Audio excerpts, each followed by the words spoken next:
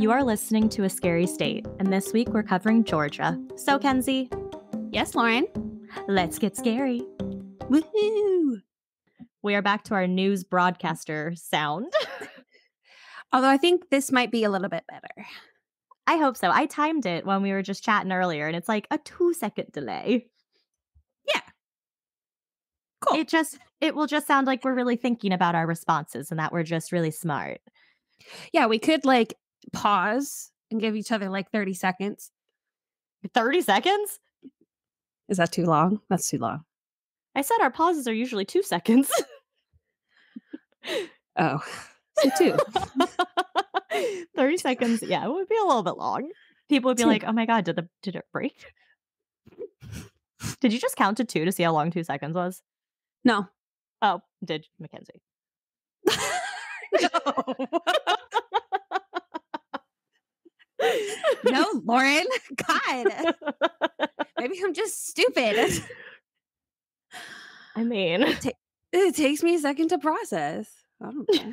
all right. Well, since we since we both have long episodes this week, why don't we just jump on into Georgia? Oh, wait, Yeah. real quick beforehand. what? What? Um, I saw a news article about one of the Manson family members. Um, she was just Oh? released from jail. Shut up. Yeah, so she was just released, I think yesterday or the day before. Um, I did not do the research on it to like talk about it beforehand because I was too busy on these notes.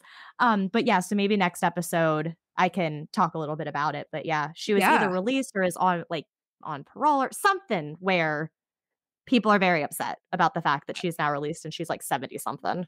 I mean, I guess principle of the matter, but what the It fuck is the principle of the matter.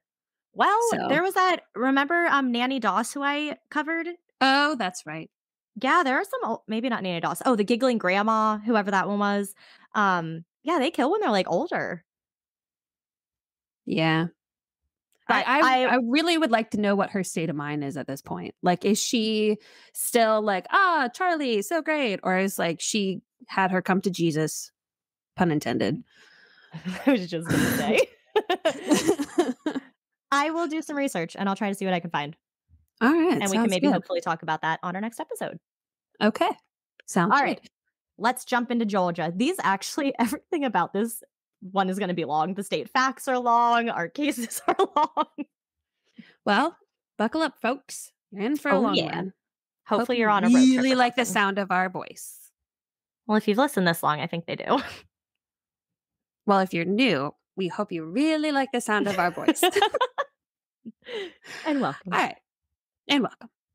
Georgia. So in 1970, uh, nope. Great start. in 1732, James Oglethorpe used the colony of Georgia as a place he would send prisoners who were unable to pay their debts. So it was founded as a felon colony. just kind of like uh Australia. Australia. Aussie, Aussie, mate.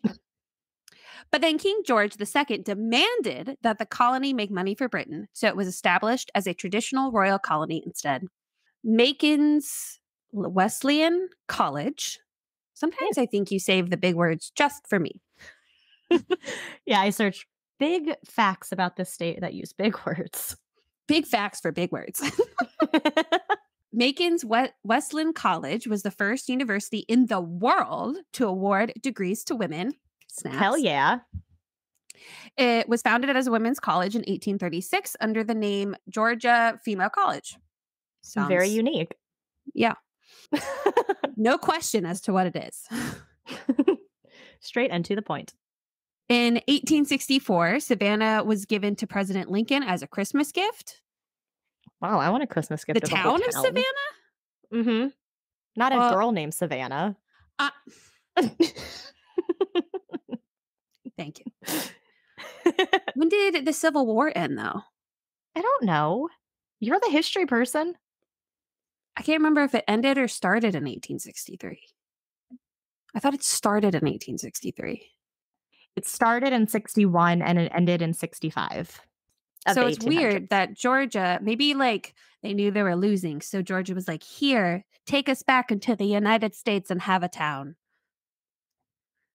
and have a town. Unless we just didn't have Georgia yet. Okay, oh, we're going down a rabbit hole. Yeah, we are. Okay. Georgia could fit into the state of Alaska 10 times. So, what this means is Anytime I see one of those facts, I'm just like, okay, it's going in. in 1943, Georgia was the first to lower the age of voting from 21 to 18.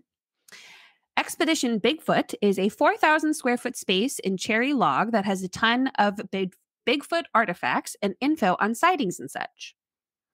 I feel like every state has a Bigfoot story. Oh, yeah. I think they all do.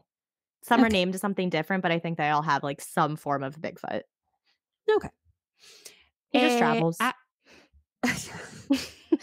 One Bigfoot traveler 50 all around. Yep. he's the he's the um nope, popped out of my head. Now it wouldn't be funny because it'd take too long to think of it. At Mysteria Antiques in Moretta, Georgia, you can see a two-headed cow. I think that was in um like do you remember those Ripley Believe It or Not places? Yeah, I think I think that was there. probably. And then maybe it moved to this antique place. Uh, Without a doubt, almost any vacation I went on and there was one there, I made someone take me. I mean, they're so fun. They're all the same thing. no new information to try to believe. Just, and I you never know, want to believe anything different. I want to go to all of them. Yes. They're all just validating each other. Yeah. In 1974, Jack Angel, a 66 year old, A 66 year old, comma, took a nap at his home in Savannah. Four days later, he started to notice burn marks on his body, but he was in no pain. Soon after, he collapsed and was rushed to the hospital. His doctor found that Angel had an aw- had awful internal burns.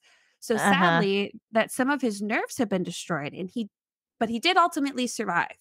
How? I mean, not how I- did he survive? I How don't know. he- There's there will be like those stories of like like spontaneous human combustion, and I wonder if it was something like the starts of that. I don't know. Spontaneous human combustion. Mm-hmm. There's a story about it. I promise you. I promise. Was you, it by you a don't believe me. scientist? I will punch you. you can't. Lucky you're far away. Yeah, it's like real. And there's been cases about it. oh, Mary Reeser. Mary Reeser. That happened to her. BuzzFeed Unsolved True Crime actually covered it. oh, I probably saw it then. You probably did. Fish. All How cool would it be if this became a show like BuzzFeed Unsolved? Oh my god. That would be incredible. Obviously, it wouldn't be unsolved, but I mean, how unique is it? We go around to all the states. We could travel and go to these places. Uh, and record from I'd the be- places. I'd be scared shitless, but I would do it for a good amount of money. I would do it. I would I need would money definitely do like it for money. do it. but Yeah, I would do I would it. definitely do it for money. we should reach out to. BuzzFeed.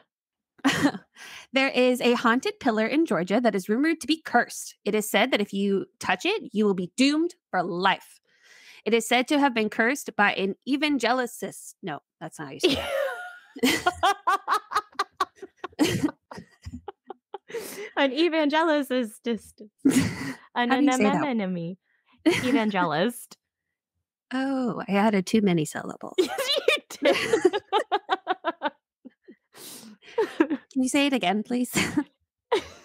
Here, you read the sentence, pause, I'll say the word, and then we keep going. Okay. There we go. it is said to have been cursed by an Evangelist.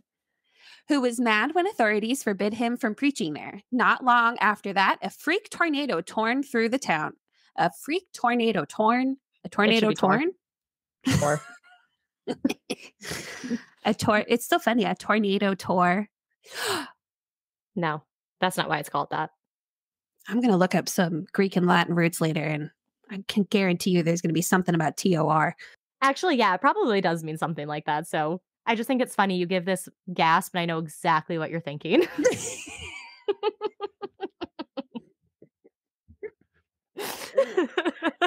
yeah. Well, 20 years of friendship will do that to you. you know. anyway, this freak tornado tore through the town, but it left the pillar Only. intact, which is exactly what the preacher said would happen. In the monastery district in Dublin is a portal. Apparently, this portal was created by geographer Eames Demetrios. Demetrios. Demetrios. Oh, you motherfucker. Try your best. I forgot that was in there. asshole. and this portal is said to be able to connect us to another universe called Kakamarathaka. Nailed it. Thank you. A man named Larry McElroy from Lee County shot an armadillo one day, but the bullet ended up ricocheting off the animal and hit his mother in law in the back. That's hilarious. But have no fear. The 74 year old mother in law was taken to the hospital and made a full, recovery. What a yeah, story. I mean, you could forever say, yeah, my son in law shot me in the back. Yeah, that would suck. Damon Exum crashed his car into a patrol car in Dunwoody. This resulted in a slight case in which Exum was finally stopped. A slight chase. Oh, sorry. If you read correctly, it makes more sense. Okay, look, I'm going to really start pulling the dyslexia card again if I have to, and then you're going to make you're going to that's not dyslexia. That was you completely missing a letter. What? Yeah. I didn't see the H. Apparently. It wasn't there when I first looked. it is now. This resulted in a slight chase in which Exum was finally stopped. When asked for his license, instead of handing that over, Exhumed handed the officer a beer. I really hope his name is Exhumed, and I was hoping that there would be an exhumed joke in there, like exhumed a body. no, unfortunately. No. Can I tell you that when I was driving to the Outer Banks, which is where I am currently, it took me through a lot of like back roads, back towns, small Ew. towns. I was looking around and I had a few thoughts. I said, one, where do these people hang out? Right. Two, if my car, if something were to happen in this exact spot, it is daytime, but I would die. Yeah. I would die. If I passed a few other places, I said, mm. and I was thinking, if it's dark outside, like I'd be fucked. I would 100% be kidnapped. This is, it was like I could picture the beginning to the criminal minds episode happening as I was driving. Then there was a couple other places I passed that I was like, something around here is definitely haunted. Oh, absolutely. I don't know what it is. There was like a couple of really, really small cemeteries that were like, seemed like their own, I don't know. It's just weird vibes. Weird vibe. Ew. I was a little nervous. Anyway, Yeah, I would be too. um, grandmother Lulu Campbell had just dropped off her son when two robbers approached her vehicle. Wow, look at that. They held her at gunpoint while demanding money. One ended up shooting at her but missed. Well, Grandma Lulu was armed and shot back. Hell yeah, Grandma. Hitting the one mm-hmm. robber in the chest. She then started firing at the other man who fled. Her truck sustained nine bullet holes and both front windows were busted out. But Grandma Lulu, she was okay. She is the owner of a convenience store, so she is always armed. I just thought that was so cool. I was like, that is badass cool. grandma. And I will say, in a situation like that, glad she was armed. Although I did just see an article the other day about a woman who was shot because her husband had like flicked off a driver and he got mad and shot into the car and it hit her. Yep. Which is why if someone I'm in the car with starts to get road rage, I'm like, stop. We don't know what they have in their car. It's not worth it. Yeah, I still get mad. I get mad to myself, but I don't get mad at like I don't show people that I'm mad because I don't want to get shot. Uh, right. But see, that's in that case, that's I'm like, well, see, you shouldn't have a gun because if you're going to shoot me over driving, No, absolutely. People shouldn't have guns, but they do. Right. Yeah. Right. You know, Mm. it's kind of like that in a circle thing where it's like, well, if you had a gun, you could protect yourself. It's like, but if you didn't have a gun, I wouldn't have to. Yep. Exactly. yeah, yeah. Um, Yep. Stran- Stranger Things was filmed in Georgia. for all you Stranger Things fans out there. Me. Uh, I watched one episode. Yeah, it's good. The Girl Scouts program was born in Savannah in 1912. Was born, founded, Yeah, I didn't know another word. founded, started, Eh, established. eh. I think the article I was reading used the word bored, and I was like, that's a good word. No, not throw for that that. in It's bad. the phrase "sleep tight, don't let the bed bugs bed bugs bite" was coined in Georgia. Georginian colonists would use Spanish moss to bind their mattresses, which would bring little creepy crawly bed bugs in. Interesting. Yeah. Um, do, do you remember in uh, drama before plays the tongue twisters we would do? big black blood, big black bugs be boob black blood, but baby black blood. Yeah. yeah.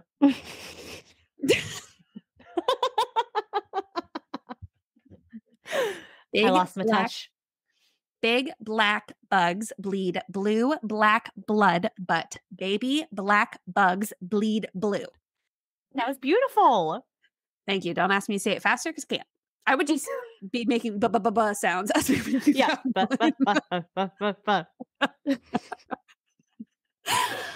the Cherokee written alphabet was invented in Georgia. Very cool. Coca Cola was invented in Knoxville by Dr. John Pemberton. Wasn't that an accident? Like one of those, like, I think so. like the chocolate chip cookie or the potato chip or whatever. Right. Yeah. Where the da- chocolate chip cookie was definitely an accident. I do remember reading that. Yeah.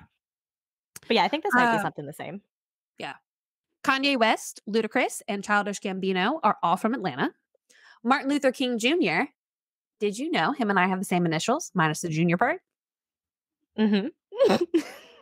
Anyway, he was also born in Atlanta. Hulk Hogan was born in Terry Jean Bollea.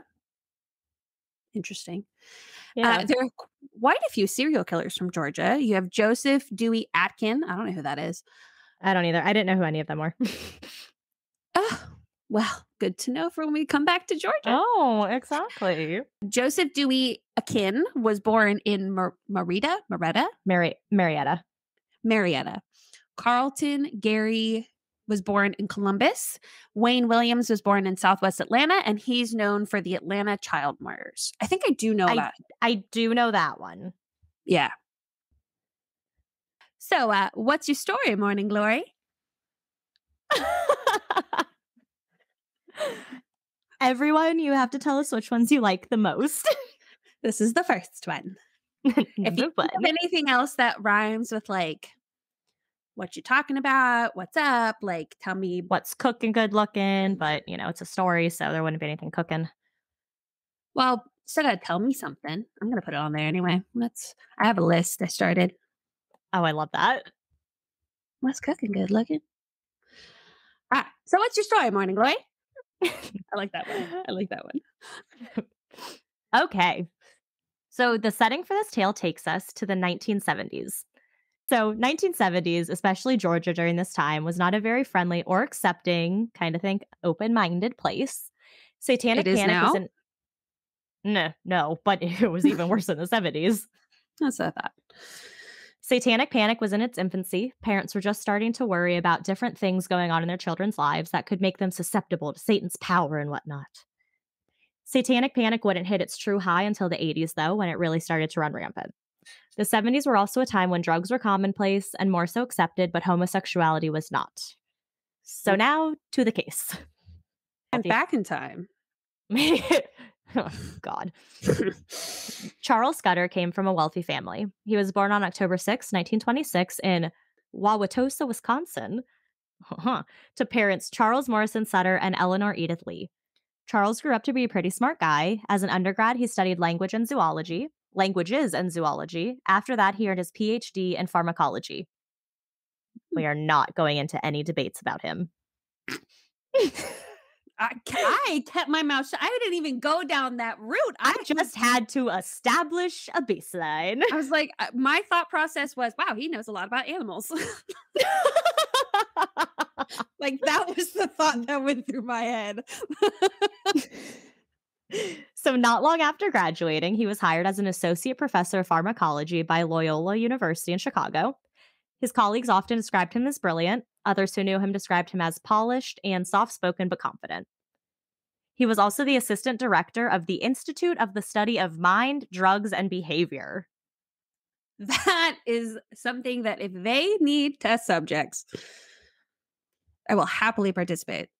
You would have loved this. So, he believed in the unity of the universe and published the results of his many different experiments that he did on this topic. Oh my god. So, is it my soulmate? Well, I'll get to why not. He's probably going to be a bad guy. No, we love Charles. Oh, goody. Yay. We love Charles. Well, I like Charles. He was problematic to some, but I liked him from what I learned about him. Uh, so apparently, what he studied at this institute he supposedly performed government funded experiments with mind altering drugs like LSD. Okay, pause because serious note, uh if you haven't already, you should watch um psychedelics on Netflix because it talks about the different like shrooms, LSD, even like some of the other heavier ones. And Oh my god, please remind me of this. Yeah, and it it interviews people who had crippling mental health, whether it was depression, PTSD, um, anxiety, you name it, these people had it. And they talked about how nothing worked. They tried everything. And so they obviously anything that they did was in was was within the control of a doctor. It's not like they were just right. doing it willy-nilly. Right. But the the things that they said for like how it really, really helped them and that they like felt like this whole new person because i i remember distinctively like i watched it and hearing hearing them it was like I, I like i had this thought of like okay so i can get better like i don't have to be Aww. anxious all the time i might not do that but if whatever but plan i have out there right if if the path i'm on right now stops working or whatever then maybe that's one that i can try wow, what a nice spin on a show about, you know, psychedelics yeah. and things. I cried a little bit because I was like, wow, can get better. they got better. So I, I, highly recommend it. It's very, very, it's just interesting too to hear oh, about that it. stuff and, is so interesting.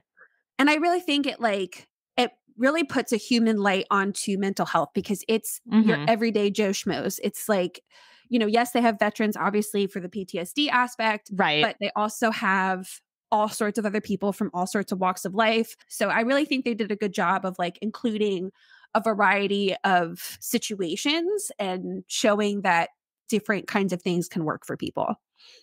Dang, well, I'll take a look at that. Okay.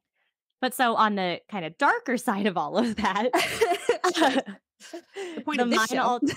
Right, right, exactly. The mind altering drugs and the LSD and stuff kind of made me think of MK Ultra. I don't know who so, it's not a who, it's a what. I don't know what that is. so, I have a Wikipedia definition for you.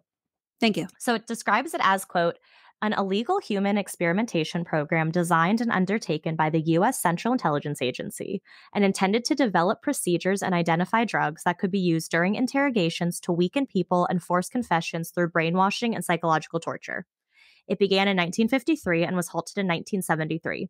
MK Ultra used numerous methods to manipulate its subjects' mental states and brain functions, such as the covert administration of high doses of psychoactive drugs, especially LSD, and other chemicals without the subject's consent, electroshocks, hypnosis, sensory deprivation, isolation, verbal and sexual abuse, and other forms of torture.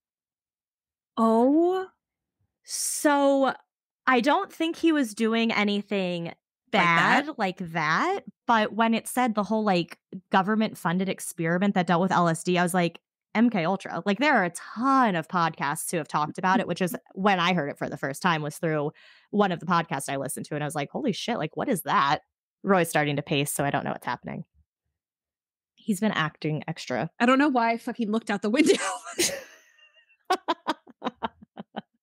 As if that would give you your answer but so we're not talking about MK Ultra today, but it was just an interesting side fact that I like kind of thought of.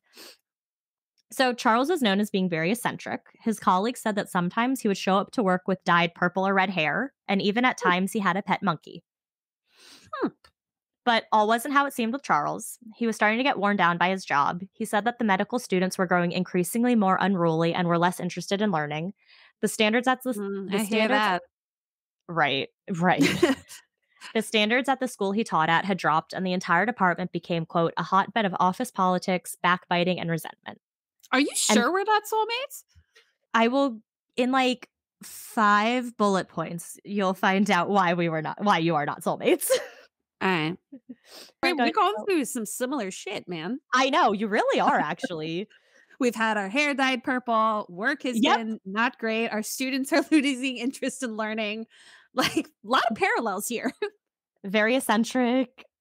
Very eccentric. Wild. And things weren't going too well at home either. His second marriage wasn't working out, so his wife moved out of their shared Chicago West Side mansion. His children were also all grown and uh, had already moved out as well. He was left alone in his mansion with no one but himself and his longtime housekeeper and companion, Joseph Odom. So Joseph was 12 years younger than Charles, having been born on March 27, 1938.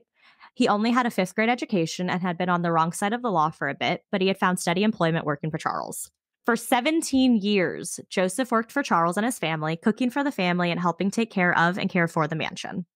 Uh, Charles once said about Joseph, quote, he learned far more about the world than I had with all of my degrees, and somewhere along the way, he developed a talent for whipping up meals fit for a king. Aw. So in 1976, Charles's mother passed away and left him with a pretty modest inheritance, which Charles mentioned was about $100 a month, which in today's money would be about $534, which doesn't seem like a lot of money per month.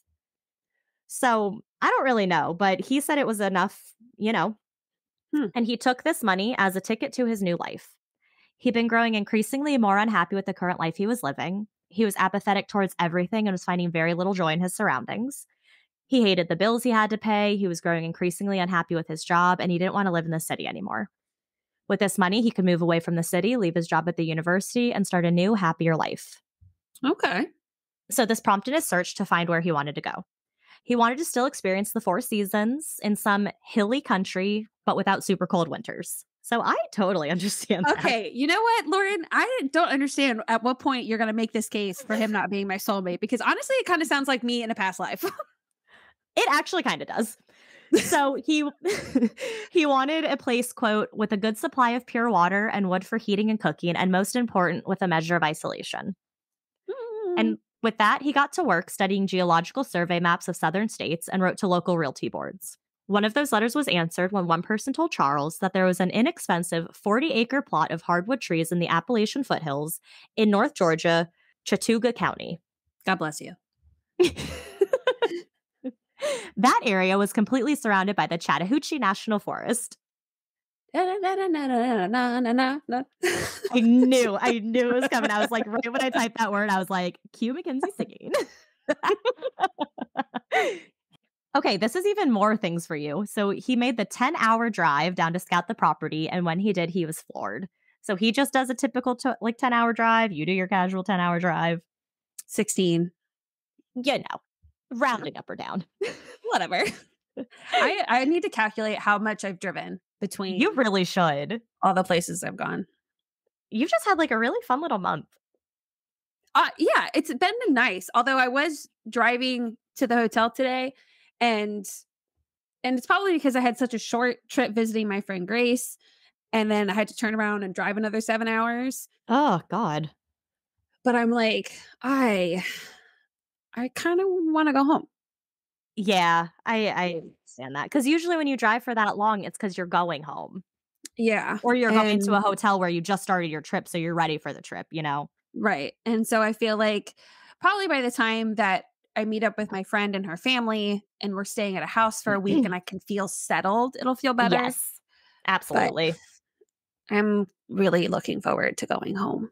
i bet So, okay so he gets to this property when he gets there he just realized it is beautiful nature a ton of wildlife serene just kind of everything he had been looking for so on his 50th birthday october 6th 1976 he celebrated by sending his resignation letter to Loyo- loyola university all right. I know, like a great 50th birthday. His next step was to start liquidating his house and his assets. This means he pretty much started selling things to get the most money he could out of his property. And remember, he lived in a mansion, so he had a lot of stuff to go through and a lot of stuff to get rid of. He auctioned off his furniture and sold off everything that had a plug, as his new house would have no electricity. Ooh, starting to not see eye to eye anymore. Yeah, just the way that his housekeeper Joseph liked it. Charles once said that Joseph would typically like he would tie up all of the cords of any appliance that had cords because he didn't like using them. So he was the person who preferred the wood burning stoves, the hot plates, like things that didn't need electricity and kind of were like back to nature kind of things. Okay. All that Charles kept were a few of his prized possessions, to include a golden harp, as well as those essential things that are needed for survival. So, just a side note, he was a talented harp player. At one point, he had been invited to play with the Chicago Symphony Orchestra. Oh, shit. Yeah. So And he this is like, this is the housekeeper, right? no, that's Charles, the man who owns the house. Oh. Joseph is the cook. Charles was the harp pharmacy person. Who who have we been talking about? Charles. Okay. I've mentioned Joseph like once or twice. Charles is who you think your soulmate is. Okay. okay. Woo! So Carry on. he sold his house within weeks, and with that, Charles had disconnected with his life in Chicago and was ready to start his new life in Georgia. Was he taking But- Joe? Well, Charles wouldn't be going alone. With him, he would be traveling to Georgia to build his new home brick by brick with Joseph Odom by his side. Aw. This is why you would not be compatible because if you haven't surmised by now, Charles and Joseph are together. Oh, yes, I figured, but it just shows we have more in common since we are both interested in men.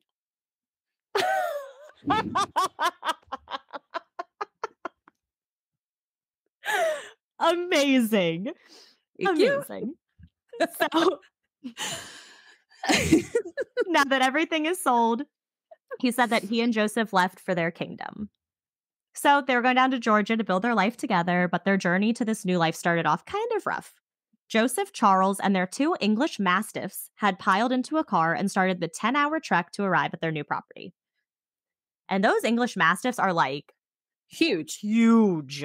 Yeah. So the the drive had been less than ideal as they were traveling through a blizzard that had absolutely pounded the American Midwest and South. They got lost multiple times, and when they finally arrived in the area the property was, they were unable to find it and had to park the car and spend the night in their car. Oh. They finally arrived to their new property, but the storm was still going and was only getting worse. The road they took to get to their property, Dead Horse Road, was completely obstructed from view. They were essentially alone and stranded in the wilderness, having to melt snow to have water. Because remember, they're They wanted. Yeah, but they bought a property. They didn't buy a house. So they Oh, have the property, right. So they're chilling in their car right now because they don't have a house. They don't have a house. Okay. Yes. But finally the snow melted and they were able to get to work building what would eventually be their dream home. They bought all the necessary tools they would need to build a house by hand. They cleared the land, dug a well, and started to excavate excavate the foundation for the structure all by hand using a chainsaw, a concrete mixer, and a garden cultivator. Good for them. I know. When summer rolled around, the first floor was livable. It consisted of the kitchen, dining room, and living room. It was all brick and had a castle like structure.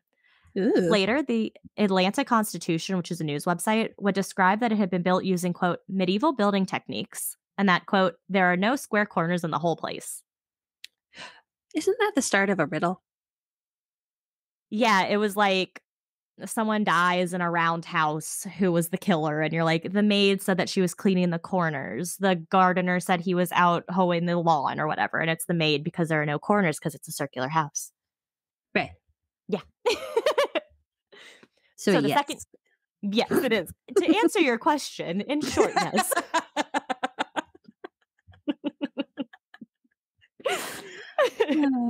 you always make So me the feel so validated. That's what I do. So, the second year, they built the second floor, which had two bedrooms and a circular staircase to get up there, which is awesome. I love our spiral staircases.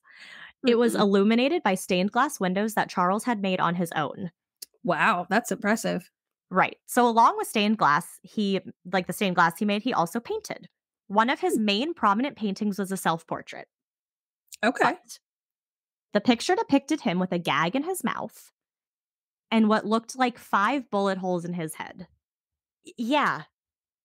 Very odd. And it's just like hanging up in their house. Yeah. Hmm. So let's talk about the place that the two built. Okay. Right above the main entrance, standing watch, was a pink concrete gargoyle. Oh, I can see where this is going. Where?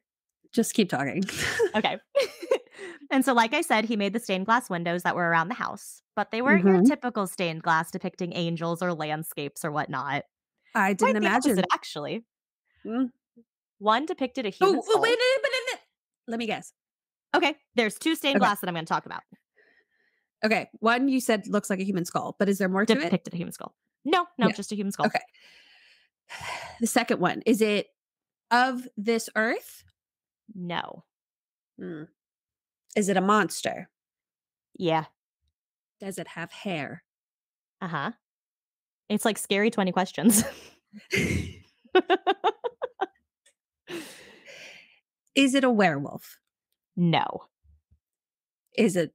Well, what the fuck else is hairy? So the other depicted Baphomet. What the fuck is that? This is the demonic goat headed deity that serves as the official symbol for the Church of Satan. Oh, that guy. yep, that one. Hmm. You know, hairy, not from this world. I'm So, trying to hold on to all of these details. Yes, there's a lot. Okay, so a little about the church. And I apologize if I get any of this wrong. This is information that I found on websites in my research. I'm not a member of this church, so I could be getting Okay. this information wrong. But this is what I found doing my research, so I tried my best to make it as accurate as possible. Okay. So the church was founded less than a decade before Charles had moved to Georgia by a man named Anton LaVey. It was relatively new as religions go, and it had a small following, but a very dedicated one. What was it called again? The Church of Satan. Oh, okay. Yeah. So members don't necessarily bel necessarily believe in an actual entity named Satan, but rather they believe the notion of Satan that Christians have rallied around. And as for Charles, he was an atheist, so he didn't worship Satan. He chose to celebrate the worldly pleasure that he felt were denied by other Abrahamic religions. I don't know. I don't know really what that means. So, you know how, like, some religions you can't have sex before marriage, you shouldn't be drunk, you shouldn't do drugs. Those are Abrahamic religions, which are like Christianity, um, Islam, like, kind of those are the Abrahamic religions, J- Judaism. Um, he wanted to be able to do what he wanted and experience the pleasures of the world. So he didn't want to be a part of that. No. So that's why he's an atheist. And so the Church of Satan, a lot of, at least from my research, a lot of members of the Church of Satan are atheists. Oh, It's not that they necessarily worship Satan. It's more they call themselves the Church of Satan because it goes against Christianity. oh, so it's an ironic thing. Yes. Got it. Yep. Yep. So it's like a slap in the face to Christians because it's like, look at this Church of Satan. They're not worshiping Satan. They're just doing things that Christians don't think is good.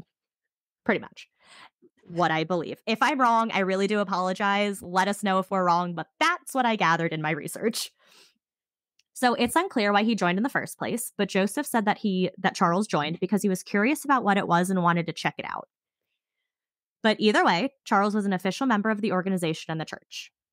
And this next thing I read in only one place, so I can't say how accurate it is, but allegedly, Anton LaVey, the founder of Satanism, the Church of Satan, and Charles were friends. It was even rumored that LaVey had visited the manor on occasion. the manor. Oh, yes, I will get to what this place is called in a second. okay. But there's actually no evidence that he ever visited, and more so, he even denied visiting the property. But he and Hmm. Charles were at least friendly, would exchange letters, like, you know, good terms. Yeah. And like I said, Charles and Joseph had two English mastiffs. Do you want to guess their names? Sure. Okay.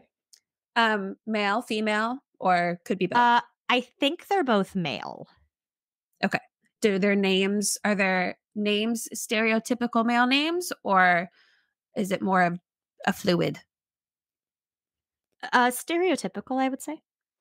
Okay. Is it like human? No, No. So not like how I had Jimmy or you had No. Roy. no. Did you, um, no. Did you notice that the doggy on the state first post, his collar says Roy? no. Oh my Yeah. god. Oh look, that's so cute. There's a little ghost Oh. doggy, and I oh. put the little thing on, and it says Roy. Oh, oh my god! After we get off, I will go go look. Okay. all right, so yeah, not human names. So what do you? Okay. What do you? Yes. Lucifer. Okay, good guess, but no, but very good guess. I can't think of any of his other names. You're literally not going to guess the second name because it's a name I've never heard of. But one But I of them I guess- absolutely have heard of. Okay. Um, Satan. No, Mm, Angel of Death. Um, you're getting close. So the first one was named Beelzebub. what? Beelzebub. I Beelzebub. more. Yes, who in Satanism and in mythology is the Lord of Darkness. Oh. Queen actually sings about it in um Bohemian Rhapsody. I can't understand what the hell they're saying. I think we've talked about this before.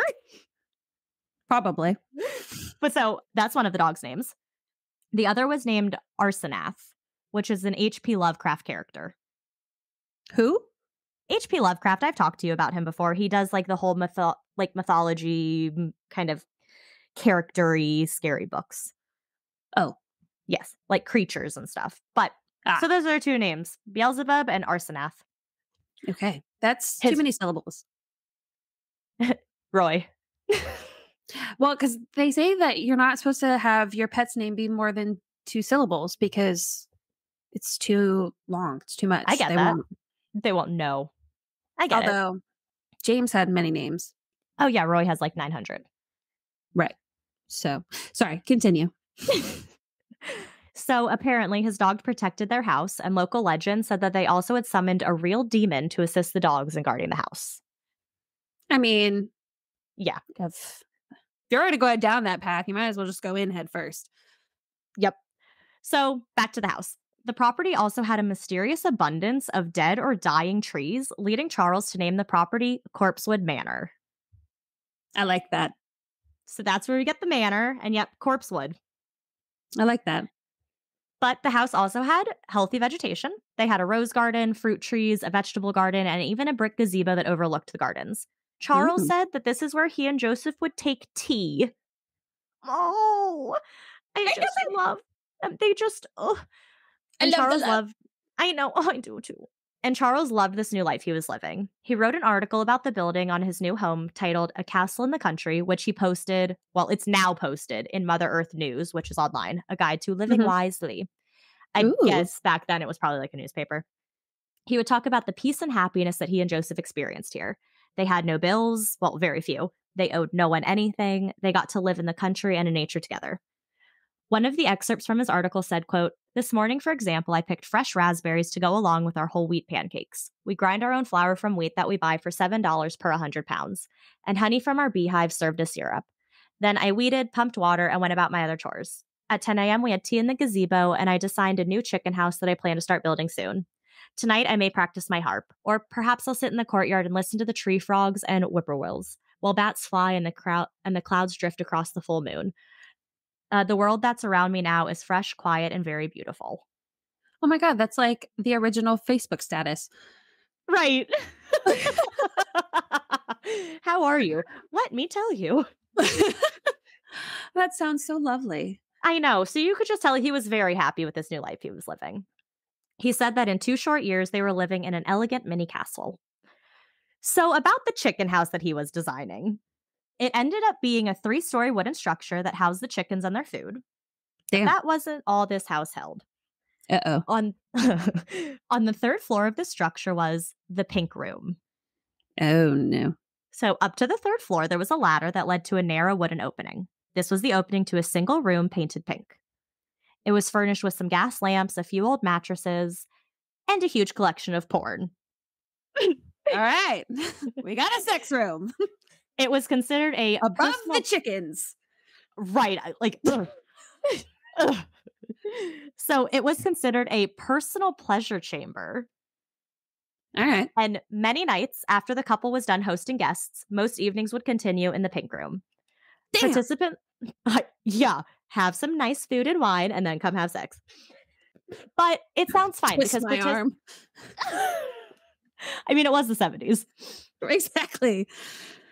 Participants said that everything that went on in the room was consensual, free of judgment, and fueled by homemade wine that Charles and Joseph made from the grapes they had on their property. I love that. I know. And I love how it's like consensual. Everyone's agreeing to it. No one felt judged. It just feels like a very It's a safe very environment. safe. Yes. Yes. A journal was also there so that guests could talk about their preferences and their experiences and other things that went on in the room. I love that. I know. And though the two came to town in this secluded area to get away from the city and the judgment and the stress, that isn't necessarily what they got. I So they still had to go into town to stock up on supplies and get the occasional things they needed. But rumors and talk started to spread about the two men who lived in a castle on the hill. They soon Oh, earned the reputation of new to town strangers who dressed like hippies and had to be Satanists as they drove, get this, a black Jeep that had pentagrams painted on the sides. Ooh, e. Mm-hmm. Not the best idea No. in rural Georgia. Yes, not at all. so the nearest town of Tryon, Trion, was the main place where Joseph and Charles would come to shop, walk around, kind of all that. But it was a very conservative place. We're talking about Georgia in the late 70s, early 80s. Mm-hmm. Stories of gay devil worshippers who hosted elaborate sex parties in their hidden castle in the woods spread throughout the community. Well, they're half right. Yeah. and while some were outraged that this was happening in their good old community, others were curious. Curious As townspeople started be. right. So those curious people started to make the drive up Mountain View Road to take a peek at these new neighbors, their castle on the hill, and especially their greeting sign. The sign said, "Beware of the thing." Most likely, I love these guys so much. People believe it's most likely an Addams family reference. Oh my god, the like I can just imagine like I can just picture it and not, you know, the losers from back then, but like I just imagine like walking up there and like it seems daunting, you don't know what to expect, but then you're just like the doors open up and you're welcomed into this home and it's just these two lovely men who have this mm-hmm. eccentric taste and are truly themselves and are welcoming and loving and bring you in and just make you feel all warm and fuzzy inside. You are not wrong about them. Okay. and I will get to that soon. But of course, rumors continue to swirl from those who actually did visit. Some said that Charles had summoned a demon to guard his property, while others said that they saw robed figures in the woods holding seances. and this this is about the time that satanic panic was really starting to increase around the country, so that wasn't helping at all. So fast forward a bit to 1982. Charles and Joseph had- been living in Georgia for about 5 years at this point. And like I said, satanic panic full force. The Exorcist had just come to, had just come out, which introduced audiences to a terrifying demon in possession. The Mm. Poltergeist had come out that year. Dungeons and Dragons was popular, scaring parents and having them fear that their children will fall under demonic spell for playing. Yeah, oh, We covered a case in Washington that talked about that. talked about what? Uh, it was a whole thing that dealt with Dungeons and Dragons, and two, a couple was killed after they left a game, um, a Dungeons and Dragons playing game in the 80s. Oh damn. Yeah. Fuck, I just had a thought. Nope, it's gone. Continue. Oh, I'm sorry. Well, if it comes back. That's okay. No, no, no, it's okay. a conspiracy theory a few years prior in 1978 claimed that McDonald's, like the double golden arches, was Mm-hmm. funding satanic enterprises. Get a This hobby. theory, Find something to do to occupy your time that is productive and healthy. uh, seriously, this theory actually gained so much popularity that the founder, Roy Kroc, had to make a public announcement addressing the theory, claiming that it was false and that he was a quote, God fearing, God loving man. My eyes could not roll further back into my head. Oh, I know. And Michelle Smith released a best selling book called Michelle Remembers. Oh my this god. This book talks about satanic ritual abuse, a new term that freaked out so many people. She told her story about how she Oh, I remember what I was going to say. What? Because you're talking about how kids were scaring their parents. And I was a little shit. so I thought it was hilarious to scare the crap out of my mom, Oh my god. which I think come full circle and I get startled at everything. Yeah, it was the universe being like, you want to do that to someone, just you wait. Yeah, like I got out of the elevator today and there was a person standing there and it wasn't so much the person that startled me, but like her daughter kind of like squealed for a second and it made me jump. and it's so it happened so fast that I'm like, oh, maybe nobody saw. like maybe no Did they apologize? No. Then maybe they didn't see. Yeah. That's what I'm hoping. so back to this Michelle Smith. So she told a story about how she was captured by a satanic cult, then was caged, tortured, and sexually molested by different members of the cult. Oh my God. Her tale would eventually be debunked, but at the time, this sent the country into a panic. Oh, shit. And oh, another God. panic that was happening around this time was gay panic. Oh my God. Yeah, it's the 80s. That checks out. Uh huh. In Atlanta around this time, several local black children and young men were being killed by a serial killer, and Atlanta was obviously terrified. Oh, is this the um what's his name? I think so. Atlanta child murders. Yeah, yeah. Williams. I don't yeah, something Williams. But yeah, mm-hmm. I don't I don't talk about that. But mm-hmm. one of the reasons I bring it up is that during the manhunt for the monster responsible, one theory started to circulate. The theory was that, and this is it's just so awful, it was that a ring of homosexual pedophiles were responsible for the murders. Mm. There was also a terrifying new, quote, gay disease going around. I am obviously referring to HIV and AIDS, which was first identified in 1981. The gay disease is what the news and media were calling it. So the news each night would have some mention of either HIV, AIDS, or Satan. Not that I was there, but I just feel so bad. And I, I know, know, like, you know, you look back on all the history that you learn and how people were treated. And of course, you have this sympathy and you have this, like, that's terrible. We shouldn't do that. I'm glad we don't. But then you get older and you realize, oh, fuck, we kind of still do. We absolutely and still do. It's just Ridiculous. We're still fighting for rights for everyone. Of course, we still have this yeah. going on. I just feel like you have that childhood bubble of like, you this do. was in the past and this isn't happening anymore. And everything's all hunky dory. And then it's burst at some point, earlier mm-hmm. for some than for others. And it's just sad that like you're talking about something that happened in the past, which one is not that long ago. Right.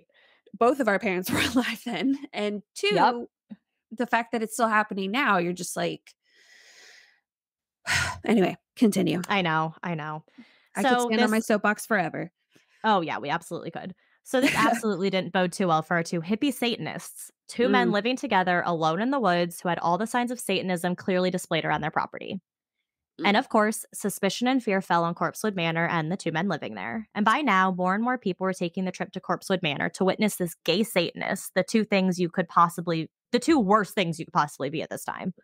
So everyone had the same thought that these men were evil and would be dangerous to be encountered. That couldn't be more different, and all of those curious, hesitant visitors would soon notice that. When Joseph and Charles saw a random visitor on their property, they would invite them in for dinner and some homemade wine. and locals started to realize that they weren't scary, crazy men, but rather really hospitable hosts. This allowed the two men to become very friendly with the locals and seen as just two great guys leading to Corpsewood Manor becoming a sort of social hangout destination. Oh, good. Joseph, okay. Yes. So Joseph, who I mentioned was a great cook, he would whip up incredible meals for their visitors from their own garden, while Charles would entertain the entertain and host, usually playing the golden harp of his. Love that. A year later, Candy Grogan gave an interview to the Chicago Tribune. Grogan was one of Charles' closest friends and described a candlelit dinner she had enjoyed at the manor. It featured a five course meal and the wine was served in silver goblets. Quote, it was a fantasy, she had said. Oh, I love that. Uh, it's gonna get so sad. I know. Can't we just end here? I'm like waiting. I'm this whole time. I'm like, the shoe's gonna drop. I'm oh, waiting oh, yeah. for it. And in 1982, the year we are still in, is when shit goes down and that shoe drops. Oh, God. So enter a new character 17 year old Kenneth Avery Brock.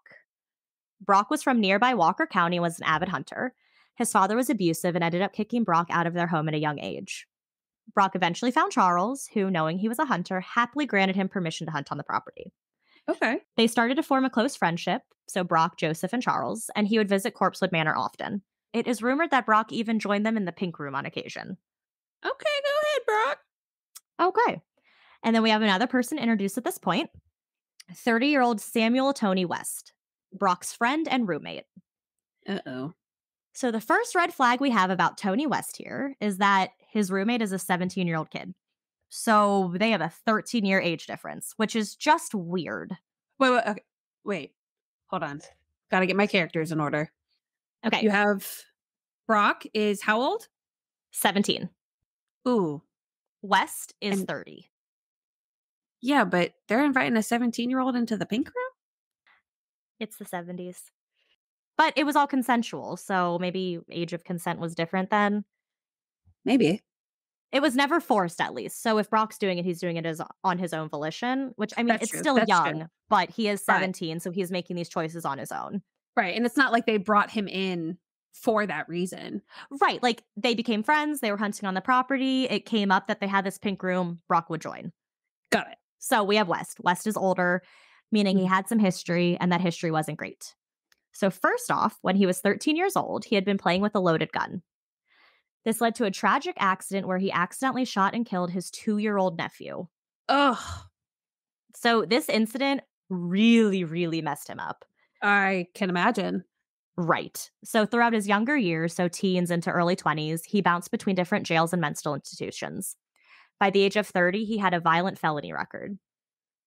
So, one day, these two just wastes of human beings were in the trailer that they shared, and we're talking about Corpsewood Manor. So, Brock and West. Brock had been going there often and was telling West that based on all they had there, how they built their own house, how they had lounged around all day, Joseph and Charles were obviously pretty wealthy and were hiding a lot of the riches in this manor of theirs. Mm. That got the two of them thinking that they wanted that money. And they began to devise a plan where they would ambush the two and rob them blind. oh my God. And on December 12th, 1982, They take you in, they let you into their home, they let you hunt onto their property, they bring you into a very intimate space, and you're going to backstab them? Mm hmm. Bruh. So on December 12th, 1982, Brock and West were ready to finally execute their plan. They've been hanging out with two friends, Joey Wells, who was a relative of either Brock or West, I can't remember, and Joey's date, Teresa Hudgins. So it's Brock, West, Joey Wells, and Teresa Hudgins. Brock and West invited the other two along, saying that they were planning on heading up to Corpsewood Manor to drink and do some drugs. They're all underage, so having a place where they could actually drink and do drugs was huge for them. So Wells and Hudgins agreed, and excitedly they all loaded into West's car, West's car, and began making their way to Corpsewood Manor. Now, at this point, only Brock and West were aware of the plan. okay. The other two No thought they were just going to get high and drunk together. Okay. On the way, though, they started huffing Toodaloo. What?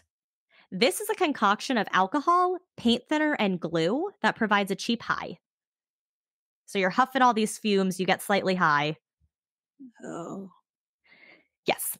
So the four are feeling pretty good when they arrive at the manor. They make their way over to the building where the pink room is, climbed up the ladder, and were all greeted by Charles. Brock had brought a can of Toodaloo with him, so the four and Charles partook. Joseph was in the house at the time, cleaning up from the dinner that he and Charles had just enjoyed together. The group of now five chatted for a bit up in the pink room, doing the Toodaloo stuff and just talking and hanging out. After a few minutes, Brock excused himself and said that he needed to run back out to the car to grab more Toodaloo. He disappeared down the ladder and made his way back to the car. But instead of grabbing more drugs, he pulled out the rifle he had put in the truck, marking the start of their plan. No. He made his way back up the ladder, and with this, West also knew that the plan was in motion. it just makes me so sad. Okay. Mm. Charles saw the gun when Brock brought it back into the room. In a sort of way to diffuse the tension and the obvious nervousness he felt around the gun, he jokingly said, bang, bang. And I see it as kind of like being like, oh, bang, bang. Like, you know, like jokingly, like, okay, that's kind of scaring me, but like maybe this is just fine. Brock handed his gun to West, pulled a knife from his boot, and lunged towards Charles, grabbing him by the hair and pressing the knife against his neck. This is when he started to incar- interrogate Charles about his riches and his hidden fortune and demanded that he hand over any money. God. Charles calmly explained that they don't keep cash on the property, they keep everything they have in a bank, and that even then they didn't have a ton of money. Everything they had they put into the house and not much was left. Yeah. Not not satisfied with this answer, Brock let go of Charles, descended the ladder, and went into the house to find Joseph. Hmm. Not long after he was out of sight, the sound of gunshots rang out. Oh. Whew. Brock had fired point blank at Joseph and the couple's two dogs who were sleeping by the stove. I, I know, killing all of them instantly. I know, it's so bad. Oh, upon hearing the shots, West jumped into the next part of the plan. As he was binding Charles, the two friends who had come along, Wells and Hudgins, were terrified. They tore down the ladder and sprinted over to the car they had arrived in. But to their absolute horror, they couldn't get the car to turn over. And by that point, West was already to them, forcing them back up into the pink room. when he was sure he had everyone under control, he forced the three down the ladder and back into the manor. Inside the manor, and once again, they demanded that Charles reveal where the money was hidden. Torn apart and overwhelmed by the sight of all the things that Charles held most dear dead, he pulled away from Brock and West and made a run for Joseph. But another gunshot rang out and Charles fell to the floor. West walked right up to him and shot him execution style five times in the head. Oh my god. It is it is rumored that his last words were, quote, I asked for this. Oh, no, you didn't. But could this be from the self-portrait he painted? Where he was gagged and shot five times in the head? Isn't that freaky? Oh, I I just got chills. I know. Oh, I know. So I some people believe totally maybe he forgot about that. Yeah. oh my god. so some people think maybe he predicted his own death or was like somehow able to foresee like this like premonition of what was going to happen to him so i know Whew. reading it out sa- out loud it is mm. so much sadder than when i was typing it Yeah. so with the two owners now dead west and brock had free reign of the house and began searching it for the hidden treasure completely ransacking it in the process when their search was unsuccessful and yielded zero results like they tried to say the two grabbed several little items a handful of nickels and dimes, bits of jewelry, a silver candelabra, and a gold plated dagger and threw them into Charles's Jeep. They also grabbed Mm. his prize golden harp. But they were stupid and soon realized that harps are big and couldn't fit in the truck, so they ended up leaving it behind. Then the four loaded up into the two cars, so West's car and Charles's truck, and drove back to Brock and West's trailer. So they also stole his Jeep. Mm-hmm. When there, Brock and uh, West threatened Wells and Hudgins, saying that if they told anyone, they would be killed too. So, back over at Corpsewood, four days after everything, a friend in Charles and Joseph, Raymond Williams, decided to stop by Corpsewood Manor for a visit and to inform them that a friend of theirs had sadly passed away. As he Oh approached the front door, it's so sad. So, as he approached the front door of the manor, he noticed bullet holes. Williams raced back into town to notify the authorities. Within an hour, Corpsewood was swarming with deputies from the Chat- Chattooga County Sheriff's Office. Upon entering the home, they were all exposed to a gruesome scene before them. The place was a complete mess. Furniture was overturned, blood was spattered and stained the walls, and bullet casings were on the floor. Sheriff Gary McConnell, we don't like him. He phoned the Georgia Bureau of Investigations as well as the state crime lab. Now remember, these two were into Satanism and the occult and all that sort of thing. Oh my god. So you can imagine the shock that the investigators got when they walked into Corpsewood Manor, other than the crime scene, of course. I'm In the mad manner you that- haven't even told me what I should be mad about yet, but I'm already fucking mad. In the manor, they found satanic statues, paintings, and artwork that self portrait included, chains and whips, a woman's wig, porn, actual human skulls, and vials of LSD. Apparently, 12,000 doses of LSD. oh holy shit. Apparently, it was noted later that Charles actually got the LSD and skulls from his lab at Loyola. Loyola. That's fucking hilarious. okay, this is the part that's going to get you pissed. Okay. This sheriff, McConnell, Mhm. actually tried to bring charges against the two dead victims for odd behavior after seeing everything in their house. You're fucking kidding me. But he couldn't due to freedom of religion. They have been murdered. They're the victims of murder, and you're trying to charge them with something? I'm fucking sorry. What? It's just the times were so awful. They And, like, still are, but they were so awful. And like what's crazy is that it's like you could easily see that. I could see that happening now. And like what's also so sad is like they weren't hurting anyone. No, they were so nice. They were doing their own thing. They were very, very nice people who weren't hurting anyone. And like the locals knew that. And yes, I can imagine that on snap judgment, walking into a situation where you see this brutal murder and you see these things that you're not used to seeing in a typical home, I can understand is shocking. But to then just make these assumptions about these people And to victim blame. don't you know, like, and to, Ugh. say that anyone would deserve that one way or another, because clearly he thinks that if he's Oh, absolutely. get He thinks that. You know, charged after death. It's like you have that much hate in your heart for something Mhm. that's different and not they didn't put it on anybody. They never made anyone do anything that they didn't want to do.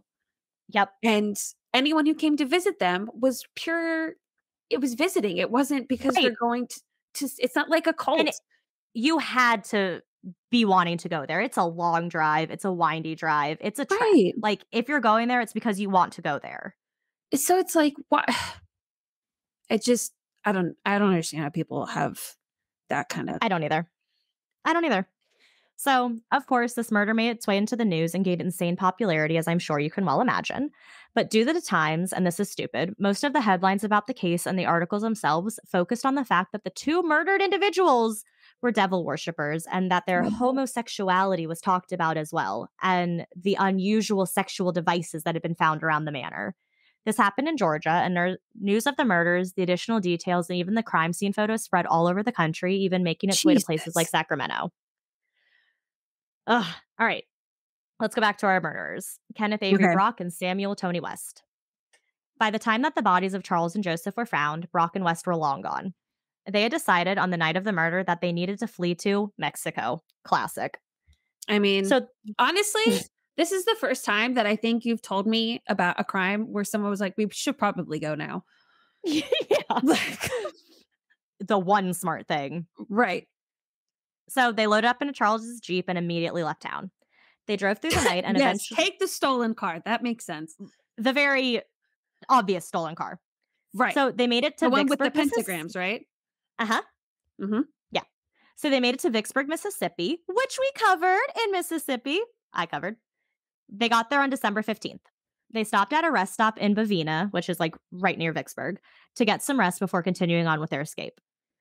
But now they're in Mississippi. They sort of realize that the car they're in, Charles's black Jeep with the bent with the white pentagrams painted on it, Oh shit! might be a bit too much and a bit too easy to identify. So they just oh shit. So they decided that they needed a more discreet car, one that wouldn't stand out as much. And somehow these boys got lucky. Not far from them, they see a pretty plain, nondescript Toyota. But there was one problem with this Toyota. 26 year old Navy Lieutenant Kirby Key Phelps was sleeping behind the wheel. Oh no! The two decided they needed this car more, so they forced Phelps, recent Georgia Tech grad, out of the car and led him into a grove of trees behind the rest stop. Brock went back to the cars while West stayed in the trees with Phelps. Their plan had originally been to tie him to a tree with handcuffs that they had, then steal his car.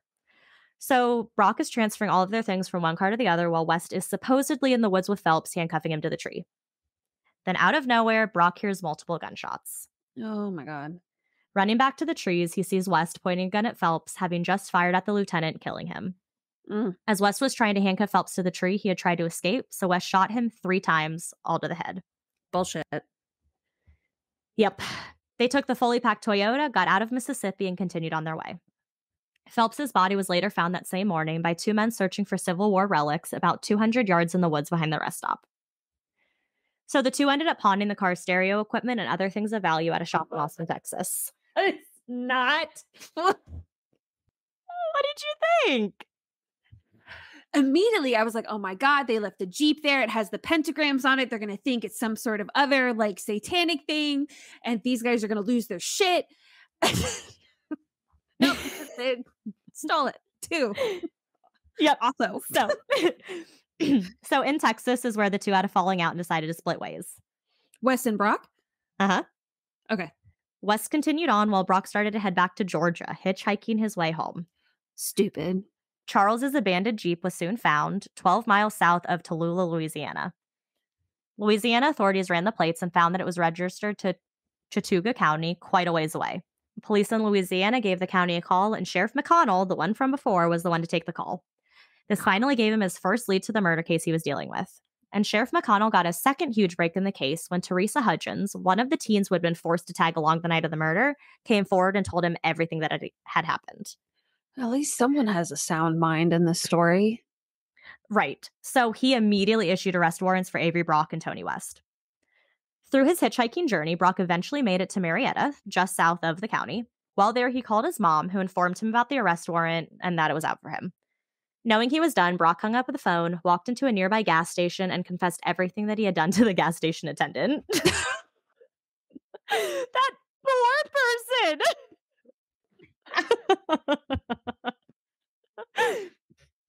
The image. I know, I know. So, moments later, police swarmed the gas station, and Brock was immediately taken into custody without incident. When he was arrested, he was wearing a suit and a pair of shoes. These clothes were later ID'd to have belonged to Phelps. now on to West. After the two split in Texas, I don't know where he was heading, but he somehow ended up in Missouri. Uh, it was when he the was direction of Mexico. no, not really. So I was like, where are you going, buddy? so it's when he's in Missouri that he decides that he should probably turn around and head back to the East Coast. He was out of money and had nowhere else to go.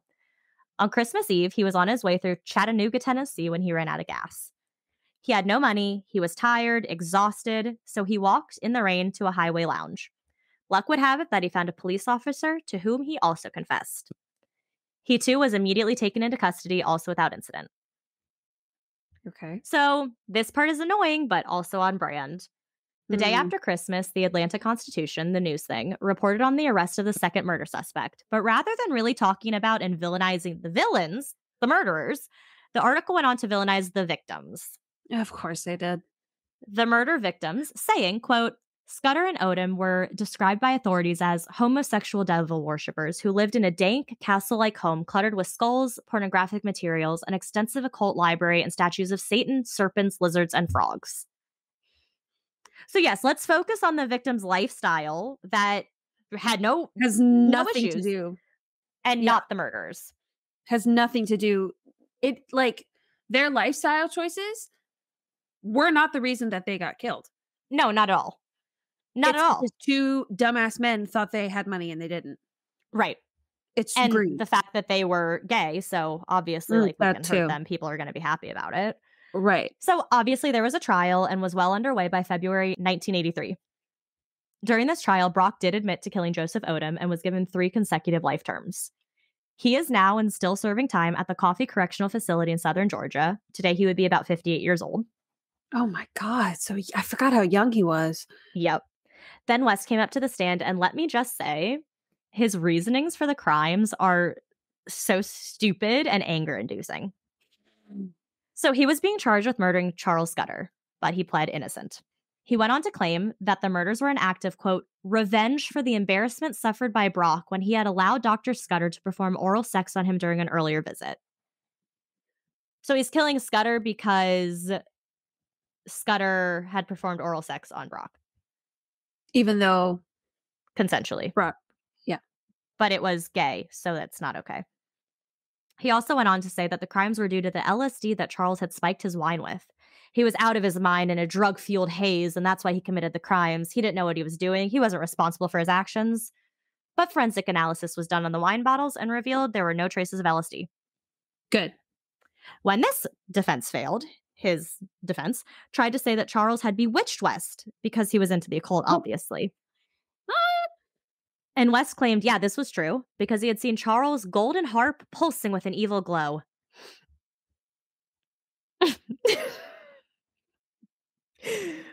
And throughout his trial, and this should come as absolutely no shock, West's attorneys made many homophobic insinuations about Joseph and Charles, trying to really highlight that part of the victims, trying to make them seem evil and that what West did really wasn't bad.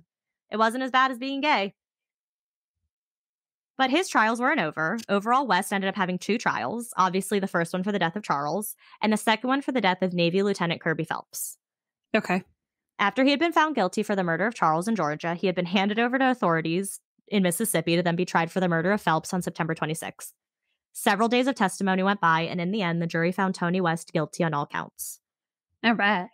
He was sentenced to death by electric chair. Hell yeah. But the following year in 1980, he appealed. I tried reading the court document to like give information about it, but one, this case was long, and two, it didn't make sense. It was all over the place. I understood nothing. They just tried to appeal for many different reasons. They wanted a new trial, blah, blah, blah. It didn't work. I think when you get the death penalty, you get an automatic repeal or appeal. I think so. But he ended up pleading guilty in exchange for his death sentence to be changed to life in prison instead. Mm. So he's currently serving a sentence at Augusta State Medical Prison, and he is about 71 years old right now. Uh, I could get on board with a death by electrocution because that shit would hurt. I think it would too. That's why And it's so- longer used. Right. And some, you know, some people just, they deserve to get hurt.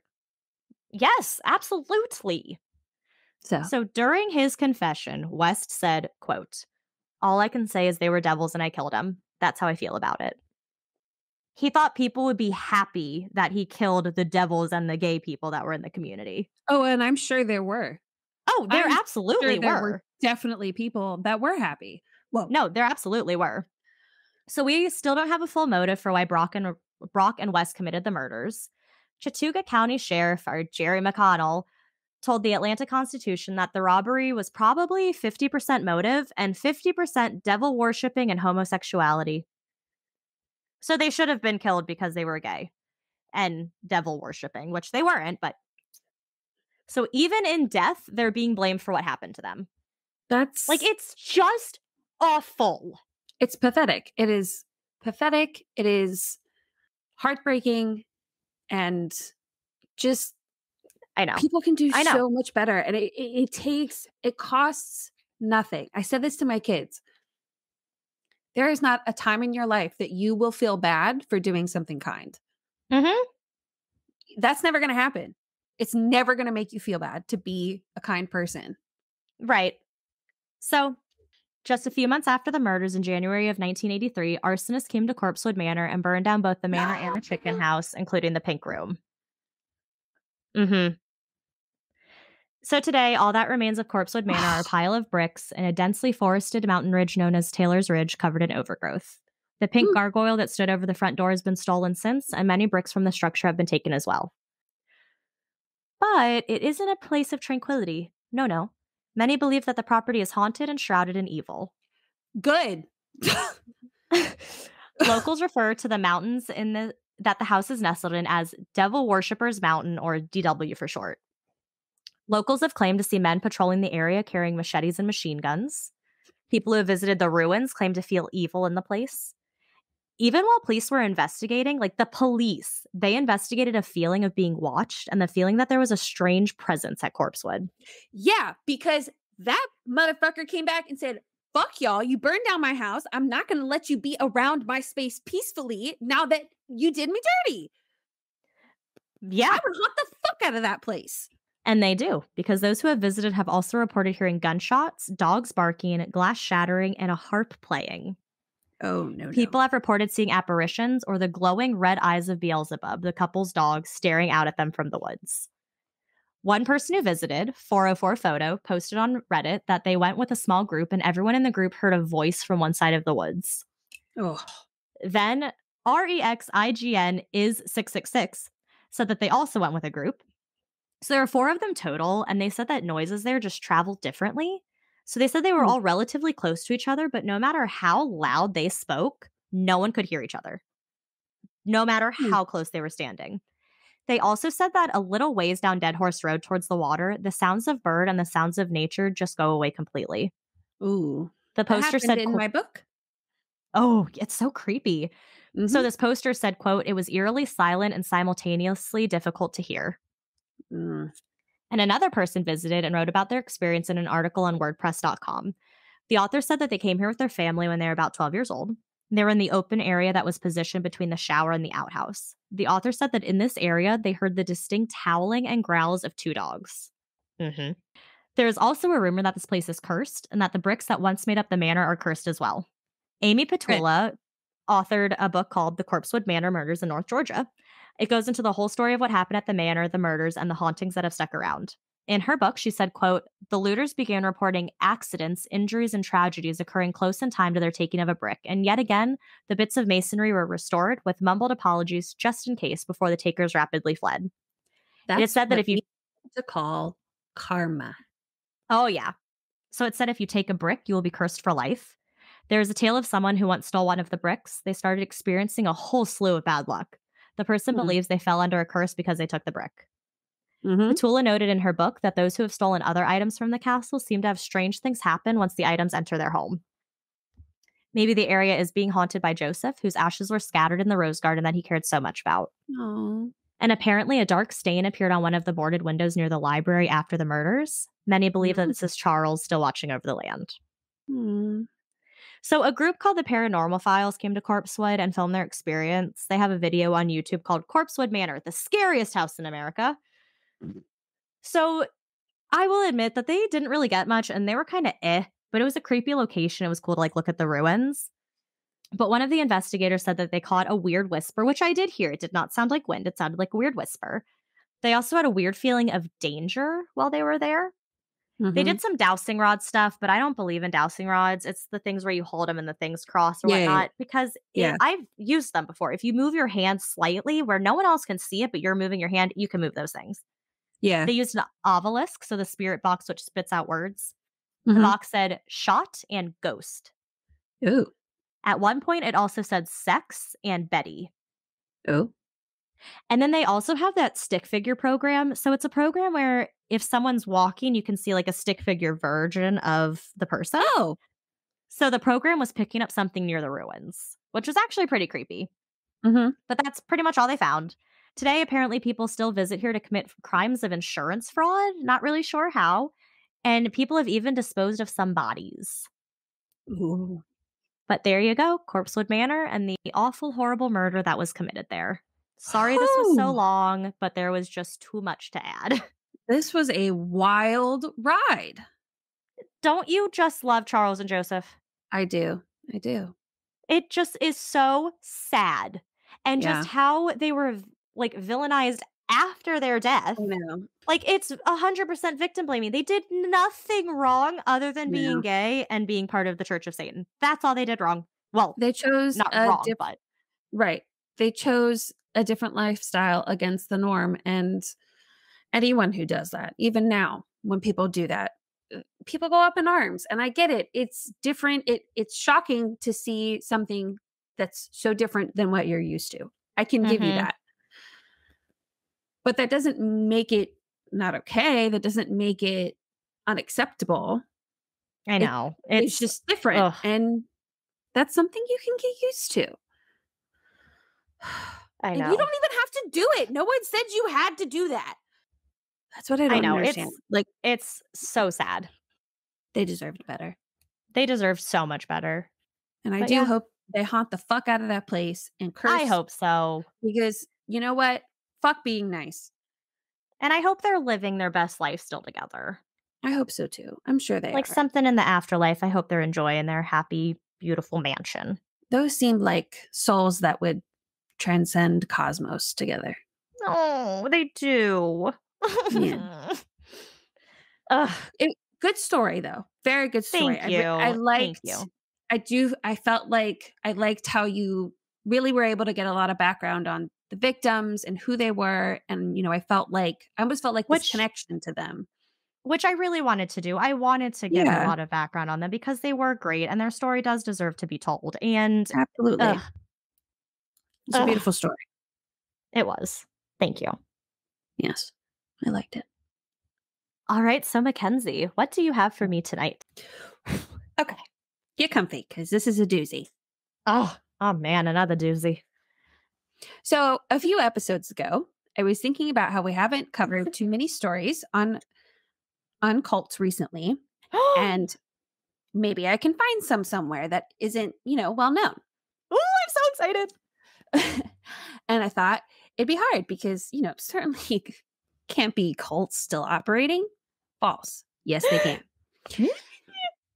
For whatever reason, Georgia seems to have a lot. Maybe because I was focused on this state, but it seemed to have an unusually high number. I found three separate cults that in the last two years have been raided by the FBI or police for one reason or another. Oh my gosh. Most of them are currently, as in 2023, under investigation and have not gone to trial yet. That is wild to me. When you think about cults, or at least when I think about cults, I think of like the 70s, the 80s, not the 2020s. Mm-mm. One of these cults is the Hope of Prayer Christian Church, or HOPC. HOPC. HOPC. So I go back and forth between saying House of Prayer or HOPC. HOPC. Humph. exactly. if only. All right. So HOCP or HOPC, whatever, uh, which had multiple of their churches raided by the FBI. In fact, it was that raid that brought the DOJ's attention to Hopk and will hopefully be their demise. Definitely some trigger warnings. This case discusses suicide, sexual assault and rape, psychological psychological manipulations among a plethora of other mental health things that cult members that a cult will do to its members. So, I mean, I can't say I'm surprised. Right. So before we go into this story, I wanted to provide some background on the psycholo- and the psychology of cults. I'm only going to go over the basics. So for those of you who are unfamiliar with it, you know, can be filled in, but I'm going to save most of the juicy information for a special episode later. Oh my. God, I'm so excited. Yes. Oh, So yes, we do this- have fun episodes coming up in October. Yeah. This excerpt from Discovery Magazine provides a brief overview of why someone might join a cult and the psychological in the psychology. I keep wanting to say psychological in the psychology of a cult leader. Experts who have studied cults suggest the human need for comfort prompts people to seek out others or things to soothe their fears and anxieties. Research suggests that those elements and others have led hundreds of thousands of people to commit to thousands of cults operating around the world. They provide meaning, purpose, and belonging, says Josh Hart, a professor of psychology at Union College who studies personality and, so- and social psychology, worldviews, and belief systems. They offer a clear, confident vision and assert their superiority over the group. As to the leaders themselves, they typically present themselves as infallible, confident, and grandiose. Their charisma draws people in, Hart says, and followers who are craving peace, belonging, and security might gain a sense of those things as well as confidence through participation in the group. So, I'm sure many of you will ask the age old question why didn't they just leave? Hopefully, this small insight into the psychology of it will help provide clarity and open your mind to some compassion for the victims and survivors. And also, sometimes it's dangerous. Exactly. On Like June the Branch 20th, Davidians in Texas, like Waco, Mhm. they couldn't leave. Mm-mm. Neither Mm-mm. really could these guys. So on June 23rd, 2022, mhm, Mm-hmm. a year ago, a year ago, Mm-hmm. last year, Mm-hmm. The FBI served search warrants on six House of Prayer Christian churches in, North Carolina, Georgia, Washington, Texas, and California. The FBI at the time confirmed the searches, but would not address what they were related to or any connection to a particular case. All that is known about HOPC at the time is that they have 11 churches across the country that all sit outside of military bases. It is possible that they have been they have been swindling veterans out of their education and disability benefits. Authority authorities seized computers, church records, and cash, but have made no arrests. So, what is the House of Prayer Christian Church or HOPC? And why are they being raided by the FBI? yeah, Well, I'll tell you. the age old question. I'll tell you. so, most of the information about the history of the cult comes directly from former members who have left the church and have since sought justice for all the crimes committed by the House of Prayer. You can read more information and help support their cause by going to hopcc, all lowercase, dot com, which is a blog that former members have created to expose the church. An expert on cults mm-hmm. described House of I'm just gonna say House of Prayer. I feel like HOPC sounds weird. Does it sound Okay. weird? You don't care? Okay. No. Okay. You gave us a nice little preference to let us be aware of it. So okay. So, an expert on cults described HOPC as a destructive authoritarian church, but that Rony Denis could be seen as a charismatic authoritarian cult leader because of the methods he used to recruit people. According to one former member, Rony Denis, founder and leader of the House of Prayer of Christian Church cult, told his members in a Sunday service, quote, God gave me permission to kill everybody in here, but I won't because I love you. oh, oh yeah, that's not problematic at all. Hmm. So Denis was an army veteran whose uh, service included an admin position in South Korea in the mid 1980s. I had a really hard time finding information specifically on him, like his life, because most of what I found was testimonies from former members. So Mm. there are aspects of his life that I'm not sure about. I can there's some gaps I'll be able to fill in, but his personal life and that kind of thing, there's not at least that I could find. There Right. wasn't much. Um, but I do know that he was married and did have a daughter. Okay. So after his time in the army, Denis joined joined NTCC, New Testament Christian Center or Christian Oh. Church, also a cult. I, I kind of, yeah, Hundred percent, hundred percent. it sounds like see in it a would minute. be. Oh, You'll see in a minute. and he started planning ideas of leaving to start his own church. In the beginning of 2003, Denis would speak with other members about his mission in Goal for his Church. He told Frederick Irwin that his church would, quote, sacrifice, pray, be humble, sincerely love the people, and of course, preach the gospel to reach the world. Irwin believed that NTCC lost sight of those things. Denis had told others that they needed nicer things. Irwin thought that this was strange since they were planning to start an organization from the ground up and new sacrifices would need to be made to accomplish that. Denis was using this illusion of nicer things to give comfort to those he was trying to convince to flee the NTCC ministers. See, definitely a cult. yeah. Yeah, absolutely. like forgetting to breathe. I Uh, realized Irwin- towards the end of my story, I started to talk faster. I was like, damn it. Because I talk fast when I get excited. Yeah, I forget to and breathe. like, it, it was really intense. So I was like talking really fast. Irwin believes that this was when things started to go south for Denis and his madness really took root. In 2004, House of Prayer split from NTCC and established themselves in Baton Rouge, Louisiana, but shortly after moved to Hinesville, Georgia. Irwin lived with Rony and his wife Marjorie for over two years before he was pushed out. His job was to get the Bible college started, teach, keep track of financial records, and many other office jobs.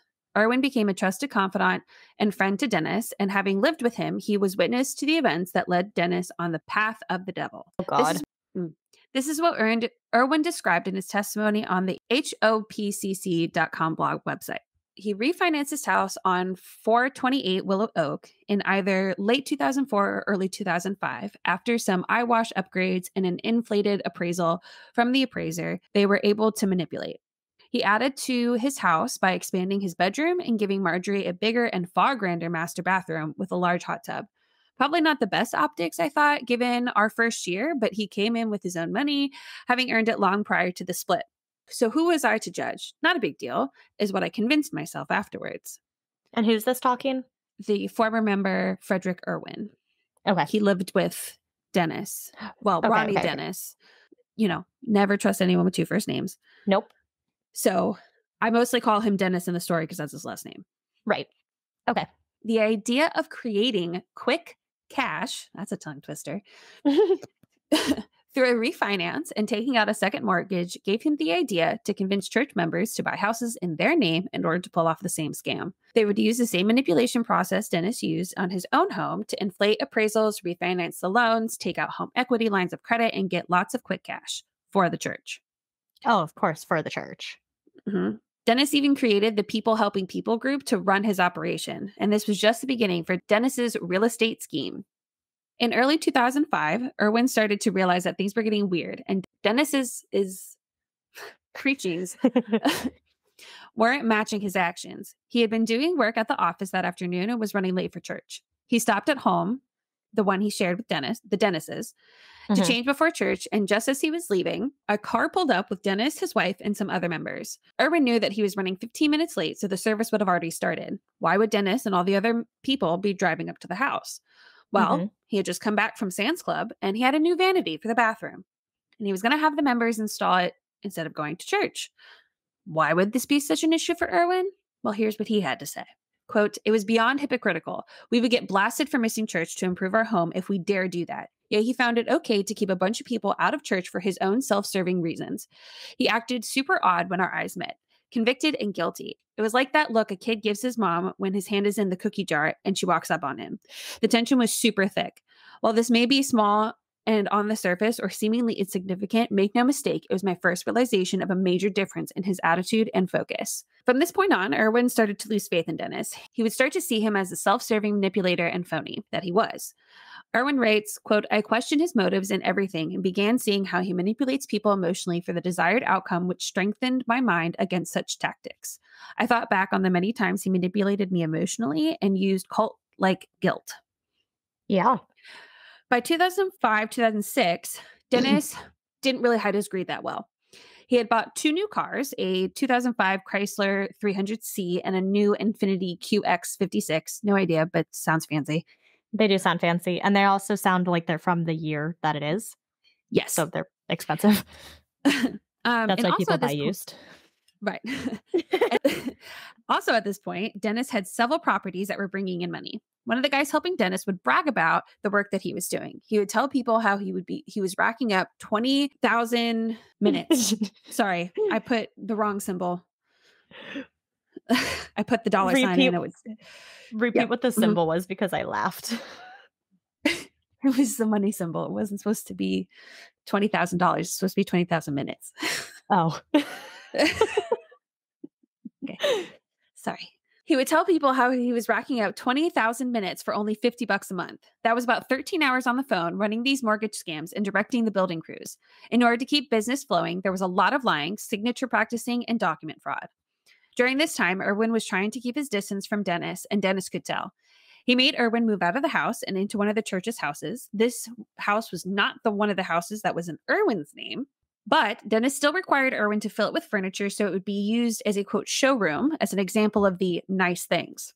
Denis leveraged the fact that he provided Erwin with a house to guilt him into going into debt to furnish it. Oh my gosh. Erwin had finally had enough. He could no longer follow blindly behind this man he once considered his leader and connection to God.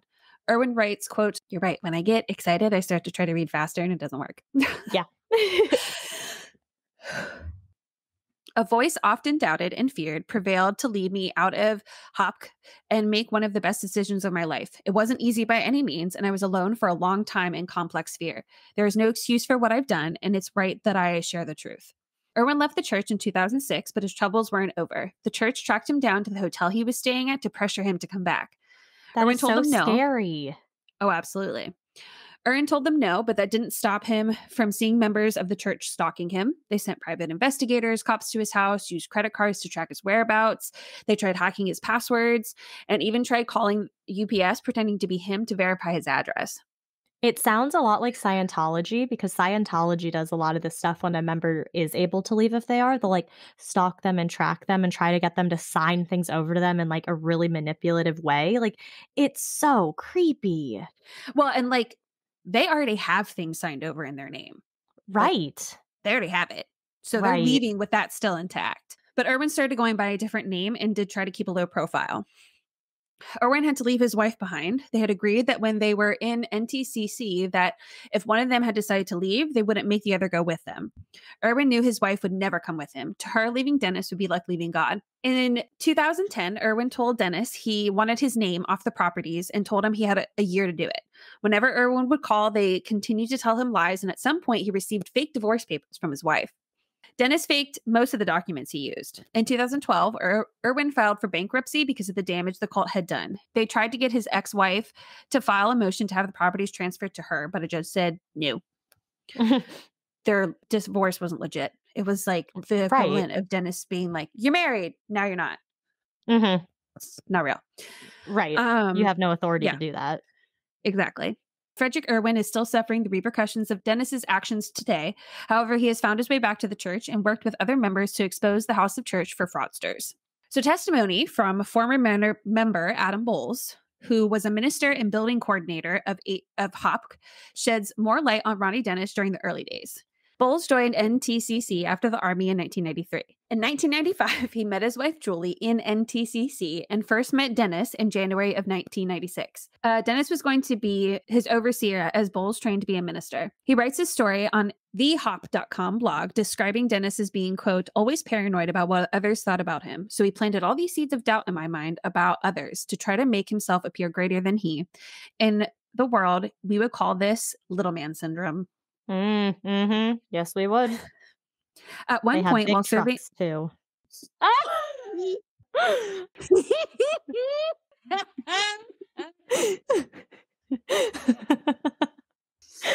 oh man.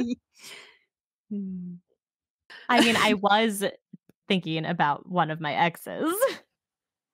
tomato, tomato. oh man. At one point, while serving NTCC in 2003, Bowles was working for the ministry in Oceanside, California, and it was struggling. Since Denis was an overseer, he came in and helped get up the numbers and the money flowing. Cult?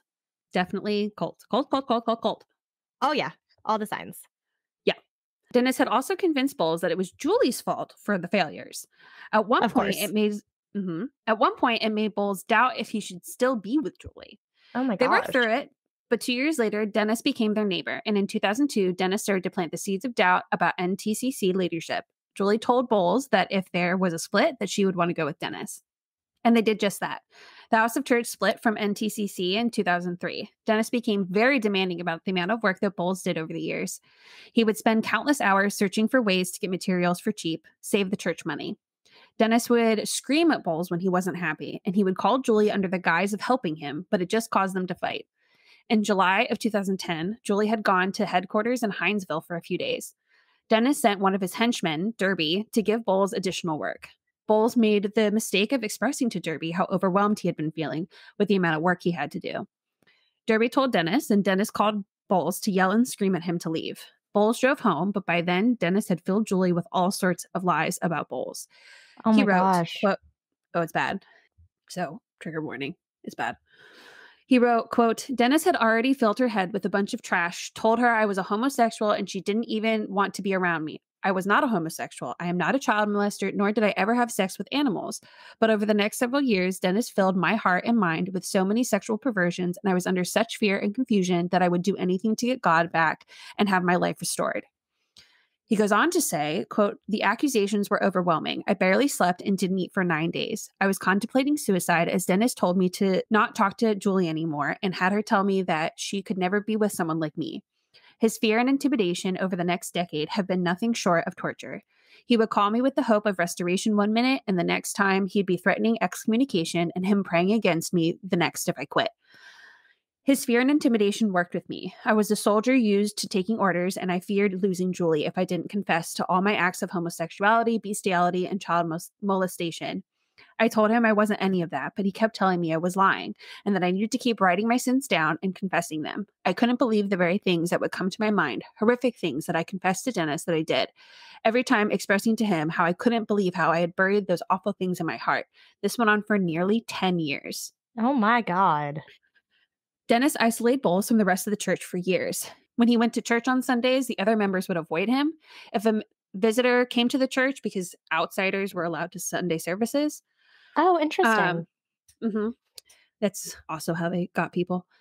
So if a oh, vis- yes. Good point. Absolutely. Mhm. so if a visitor to the church uh, sat near him, then another member would ask them to move. Bowles wrote, quote, I could handle the humiliation, the shame, the pain, for he convinced me I'd hurt so many others that I deserved to be cut off from everyone. As he said, I should be in solitary confinement for the rest of my life. He told me I was worse than Hitler. He also Ugh. said I was worse than a serial killer who raped, tortured, and murdered dozens or even hundreds of people. Oh my god. By February of 2020, Bowles was finally able to find the courage and strength to leave the church. By this time, Denis had taken $40,000 from Bowles' account. Julie had Oh. divorced him and moved in with Denis, took out credit cards in his name, ruined his credit to where he now owes $50,000 in debt. Holy shit. Yeah, and we we're just at the beginning, my dude. Oh my god. Yeah. So Arlene Braden joined House of Prayer in January of 2004. He was a minister at the church headquarters in Hinesville, and he shared a story with Hop.com. Quote, I must share my insight into this destructive cult, which is hidden beneath a Bible, a strict outward holiness standard, and an extremely controlling, charismatic figure named Rony Denis, who has deceived his followers into believing he is God's last prophet to the world and that the only way to be saved is to come to God through him. Mm-hmm. Of course. So he tells about the Polycom, which is a phone line that they can connect many lines to, and it can be patched through the church's PA system. So it doesn't matter where Denis is, he can talk to the people in church. Oh. like Wow. God. Yep. So Denis would call people over to the Polycom to praise him. He asked one member, quote, if God came down and said that Reverend Dennis was not of God, what would you say? She said that she would tell God that she respectfully disagrees. He asked another pastor to share with the group a conversation that they had had the night before.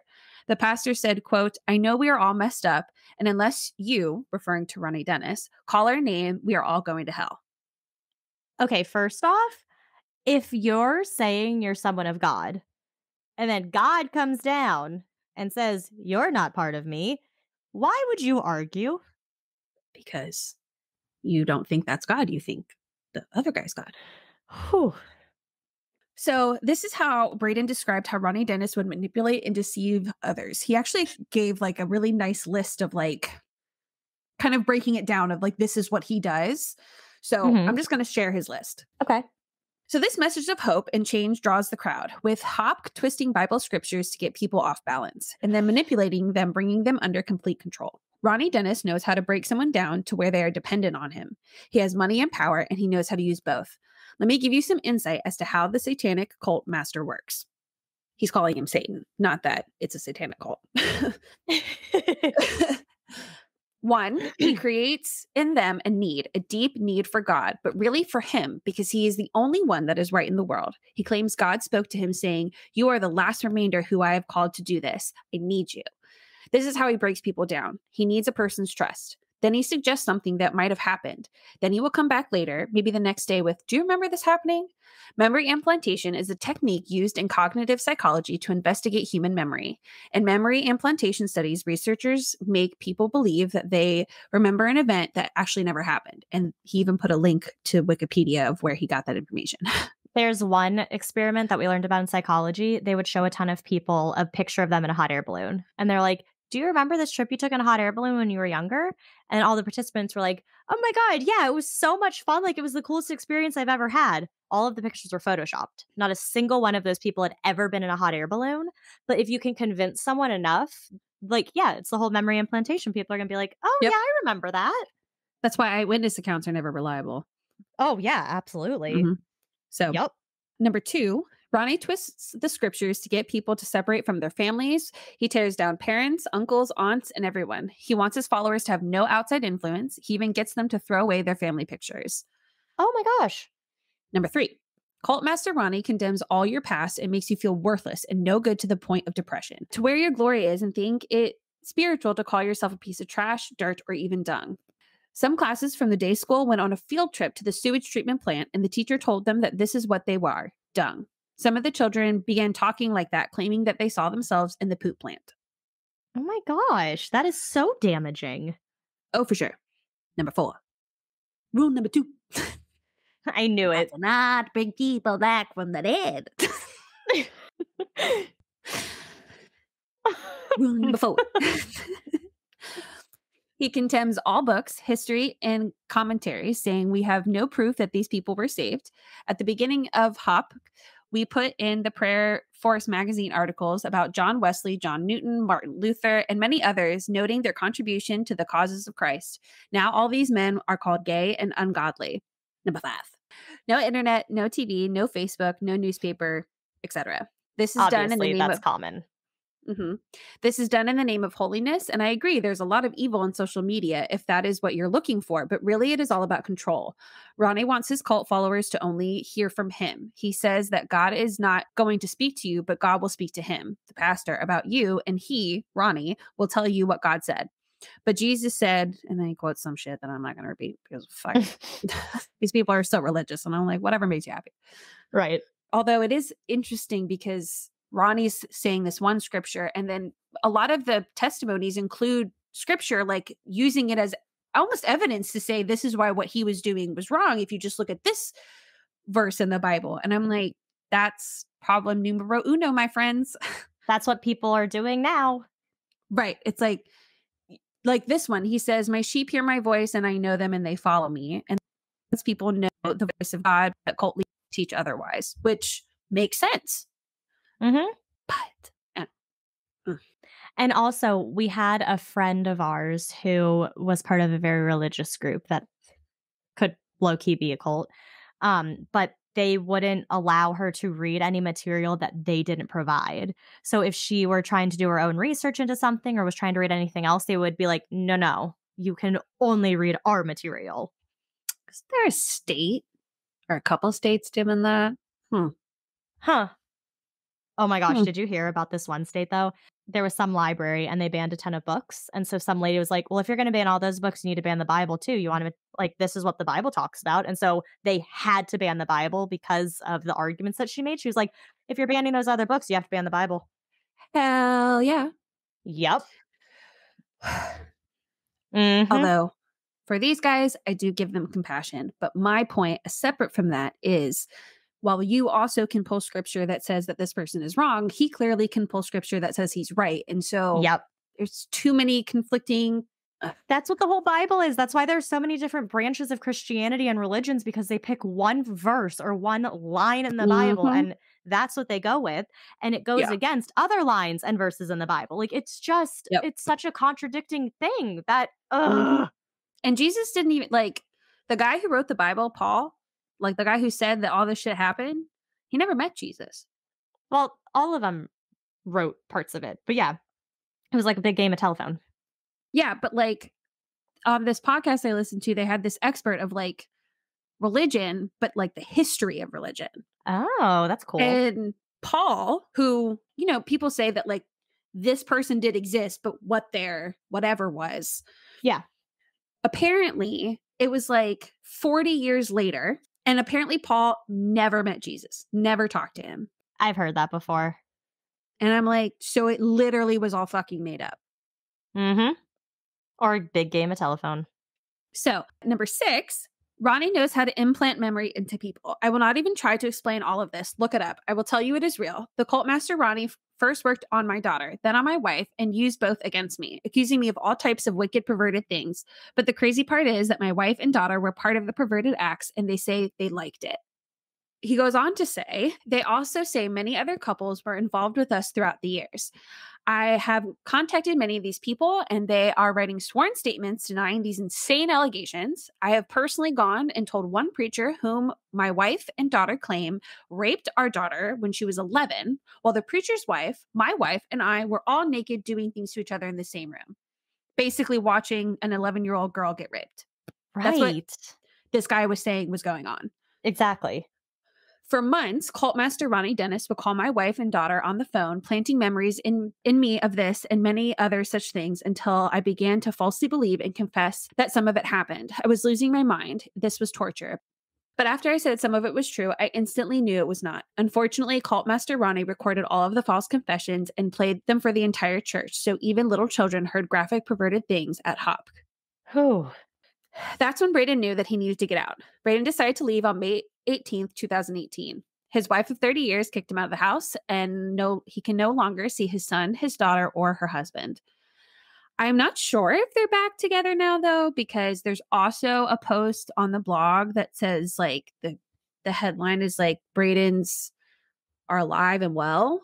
hmm And when I read it, it talked about church members following them, maybe threatening their lives. It was kind of hard to tell. It seemed like there's missing information that it sounds like it maybe it was somewhere else, Right. but I couldn't find it. Okay. so feel free to go check it out and let me know. so we're up to 2017, give or take. At this point, Denis has acquired three multi million dollar homes two in Georgia, one in Florida. And he has created a cult community that would shun members who left, even if they were family. By 2017, the blog had been formed by former members, and they were protesting outside house, house of prayer churches. The Coastal Courier reported members, both current and former, were making claims on both sides. There's good people on both sides. Yup. The church denied what the the church denied what Oh. the protesters were saying, but that didn't stop people from speaking out against them. One former member, Denise Stanley, told the Courier about her experiences when she was in the church. Her parents had joined when she was 12, and she shared how Denis knew that she had been raped when she was a teenager. He brought her into a meeting with several other ministers and wanted her to give graphic details of her rape. Denise later married another member, and Denis tried to get them involved in his real estate scam, but Denise wasn't having it. She could see right through the BS, so they thought they could try to intimidate her. She wouldn't back down and didn't give in for that matter. Another former member shared the things she saw within the walls of the church, telling the courier, quote, I've seen teenagers who were stood up and told to confess they were whores just because she liked a young man in the church. They're teenagers. Teenagers like each other, but they were made to stand up on the stage and to say that they were whores. Wow. So, military.com did a great job reporting this case from the military perspective. Interesting. Uh, so they had quotes from veterans who were also former members of the church. They provided more insight on how the House of Prayer kind of manipulated the military personnel and veterans to use their GI Bill and or disability benefits. Their report, along with other articles that I found from news outlets, is where I get most of the information. So, a reporter from military.com visited the church's campus in Hinesville to ask about the federal investigation. The congregates declined to answer the questions or comments, but they did provide him with a tour of their facility. Reverend Jeff Derby, remember his henchman, Right. told in a statement, quote, "We have been advised by our lawyers not to speak, make comments, or make statements to the media or anyone while the Bible seminary is being investigated." He also warned the website not to approach members for interviews. They did, however, speak to former members who were victims of the church. The House of Prayer had been approaching troops and veterans for nearly 20 years. They would promise them a religious community that would understand them. Military.com reported that most of the former members are veterans or were active duty service members. Some of the members described having suicidal ideation or previous attempts. Most of the veterans were wounded in post 9 11 wars and had previous trauma, such as being a victim of sexual assault or came from disadvantaged backgrounds. An anonymous former member told military.com that she joined the church in 2003 after she was sexually assaulted on base by a fellow serviceman. The recruiters could get into bases because they themselves were active military. Mm-hmm. Jane Doe told military.com, quote, they helped me out. Were there for everything I needed, such as a ride to Walmart, and they were always there, so I didn't need my unit. The church wanted her to leave the barracks, but the army had rules that did not allow unmarried junior enlisted soldiers to live anywhere but the barracks.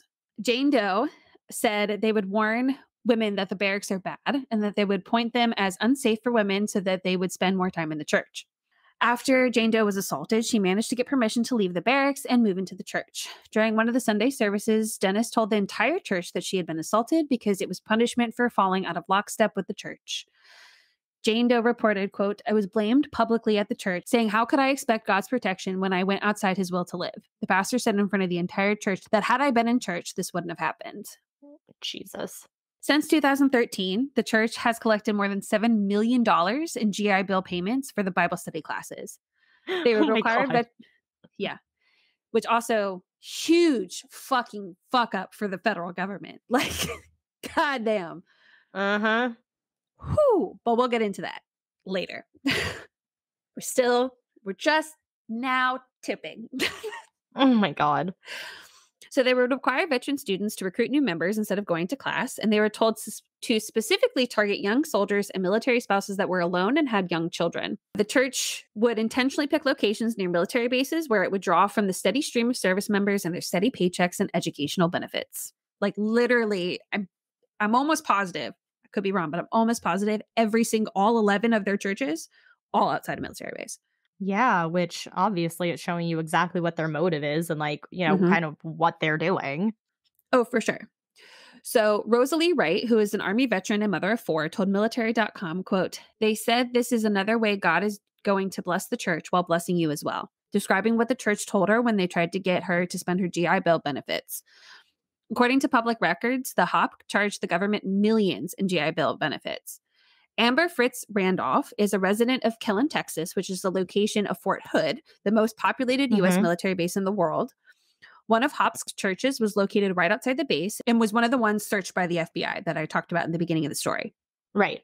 Amber is the admin for Fort Hood's Fallen Facebook page, and she told Daily Beast that she had heard within the community that Hop is, quote, absolutely a cult. She said the ones in Killeen were sneaking into barracks at all hours to torment and threaten soldiers who wanted to stop going or wouldn't give them enough money. How did they get on oh no, never mind. I was gonna say how did they get on base, but you mentioned they were They were serving in the military. Right. Uh, Denis himself is a veteran, an army veteran. Yeah, exactly. Yeah. Uh, a spokesperson for Fort Gordon, which is an army base outside of Augusta, Georgia, said, quote, Fort Gordon was aware of the organization called the Assembly of Prayer. Some, it was both. Mhm. Assembly of Prayer, House of Prayer, same thing. Okay. um, called the Assembly of Prayer Church through our law enforcement channels, but the installation had no bans against the organization or any officials dealing with them, despite their website claims. Denis had delivered a sermon that said all those who question him, the church, or its pursuits of VA benefits are a threat to the church. Of course they are. And he put it on a website. Arlene Braden, whose testimony from the hop.com blog provided a lot of the information and history of the cult, ran the Bible school from 2004 to 2018 when he left the church. Wow.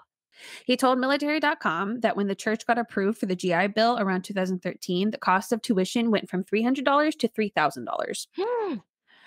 Braden told reporters, quote, it burns me because there are a lot of good people who burn their VA money at these schools. They used all their college money to donate to Denis's Rolls Royces. Jeez. Rosalie Wright left the church in 2016. Wright was the Army veteran and the mother of four.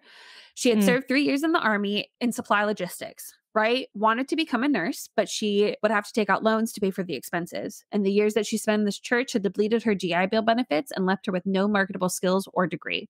Uh, Wright had been pressured to attend the school and use her benefits. She told military.com, quote, I'm still trying to get established and it doesn't feel great. When I got two kids in high school, I felt like I should be further along and I could really use the GI Bill right now. mm-hmm. The VA allowed the House of Prayer to benefit from their program that helps buy houses for veterans with no money down and competitive interest rates. Ismail Samai, who served as an infantryman in the Army for 14 years, used up most of his GI Bill benefit and was also coerced into allowing the church to rent his home in Fayetteville when he was reassigned to Texas. He told military.com, quote, You want to do the right thing. You don't want to be a sinner. Samai said the church would pressure its members to acquire as much real estate as possible. Pastors serve as the landlord and collect rent money directly from church members living there and either give it to Denis or the church. Jeez. The church also owned several apartment complexes to generate rental income. One complex is in Hinesville, Georgia, home to the church's headquarters, and that was used to convince or tell service members, veterans, or any other member to live there. Or, I'm sorry, convince or tell service members, veterans, or any other member they had to live there. Members were told to live in the church dorms so they would be protected from the perils of the outside world. Oh, of course. Meanwhile, their houses would be rented to bring in revenue for the church, and the owners of those houses never saw a dime of that rent money. My God. They would take out loans in the veteran parishioner's name and forge their signature with the use of in house notaries. The church had access to social security numbers and other personal information, which allowed them to continue to commit housing fraud. Now, just disclaimer this is all what I've read from news websites, so nothing has been formally charged. Right. This is all research, so we can't get in trouble for anything. hmm This is what someone else said was probably happening. And we are just reporting the facts that we read that anyone can read in any public place, and we will provide the links in our show notes. So the church had access to social security numbers and other personal information, which allowed them to continue to commit housing fraud. They would use the veterans to cash in on cheaper interest rates and then charge rent that would be handed over to the church. Frederick Irwin, whose testimony we also heard from that provided Mhm. a lot of insight, told military.com, quote, I was disgusted at the priority he was placing on buying houses. He was manipulating people. It wasn't what I signed up for. The church saw injured veterans as prime targets and leaders coached veterans on how to lie to get 100% of their disability ratings. They told members that other people were sinners and that their their lives to the VA were right with God. Veterans were required to make a variety of payments, such as weekly offerings, monthly offerings, electric bill offerings, and soul winning offerings. Do you know what soul winning is, Lauren? No. It's when they go out and like recruit people, and if they get someone to join, Oh, Soul- God. soul winning. That's what that's called, is soul winning. Oh, I don't like that. No, I don't like that. no, No. Jesus. fucking terrifying. Mm. A former minister, a former minister of the church and Denis's personal assistant, Darnell Emanuel, told military.com, quote, they would shame people into giving more money, especially if they knew you had a VA disability rating. Emanuel was a Iraq war veteran and said that veterans with high disability ratings were considered heroes in the church because of the extra income they generated, not for their Their sacrifice. service. Right. when money was donated, the church leaders saw it as an opportunity to get free labor for the church, like landscaping and roof maintenance, since none Oh of these God. veterans needed to actually work to, for a full time job. hmm So in 2020, Veterans Education Success, which is a nonprofit that oversees the use of the GI Bill benefits, sent a report to the Veterans Administration, so the VA, Yeah. asking about the abuse of the GI program by HOPC. Education Success ensures success for military connected students who are using the GI Bill and other federal education benefits. They weed out waste, fraud, and abuse, which is why they sent an 11 page letter to the VA about HOPC suspicious dealings with veterans' GI Bill benefits and disability. Mm-hmm. So, shout out to education. Yeah. The Fayetteville Seriously. Observer, right? The Fayetteville Observer reported these allegations among many others in the letter. HOPC, okay, would deceive the VA during inspections. They would lie to inspectors about how much time students would be spending in class, and instead of being in class, students were actually out recruiting members or doing other work for the church. Soul winning. Mm, mm-hmm. That great firm. Mm-hmm. The church would change the names of classes to satisfy VA requirements since federal dollars can't be used for a student to repeat a course. Sucks. Most of the classes resembled a regular Sunday school session around different elements of the Bible. Former member Arlene Braden said, quote, We wanted all of them there full time, so we renamed the classes so they could retake the class. The church would have students dressing up the building by bringing in desks and books to make the church look like they had functional classrooms. They lied about the percentage of veteran students attending the classes to make it seem like more civilians attended the classes. They lied about the number of Oh. students attending in one program that had been approved for the GI Bill funding, saying all of the students in different states were attending the approved program. They would charge significantly higher tuition to VA students. The letter said, quote, civilians were given in-house grants to reduce the price or were later reimbursed if they paid full price. By contrast, student veterans were billed the full price of tuition. They would lie to the VA about the teachers' college degrees and salaries. Teachers only had certificates and they were not paid at all, which is really not that much different than public I was just gonna say, I was gonna say that sounds kind of similar. yeah, but they really like weren't paid, like nothing. Like at all. HOP would change the class name or reteach the material to keep students enrolled longer. The letter stated, quote, for example, HOP had a class called the Book of Moses. Moses's, actually. Oh, plural. Right. Hop Hop mm. broke up the course into five separate classes, each covering one of the five books. The letter goes on to say, quote, students who took the original book of Moses's course were required to take five separate classes even though they covered the same material. This allowed Hop to continue to collect tuition money. One student attended classes for 10 years in three different states. With the GI Bill, I'm pretty sure like you only have a certain amount of time for it. Like it's not You- like you, you can just go to school forever. Yeah, it depends on how long your service was. Yeah, but even then, like I just feel like it's not gonna provide you schooling forever. Yes, I agree. I also, why would you take that long? I would give up after like year three. Right. Maybe make it to year four, you know, typical four Yeah. year. Another student was taking classes for 12 years in Georgia. Both students had used up all their benefits and never received a certificate of completion.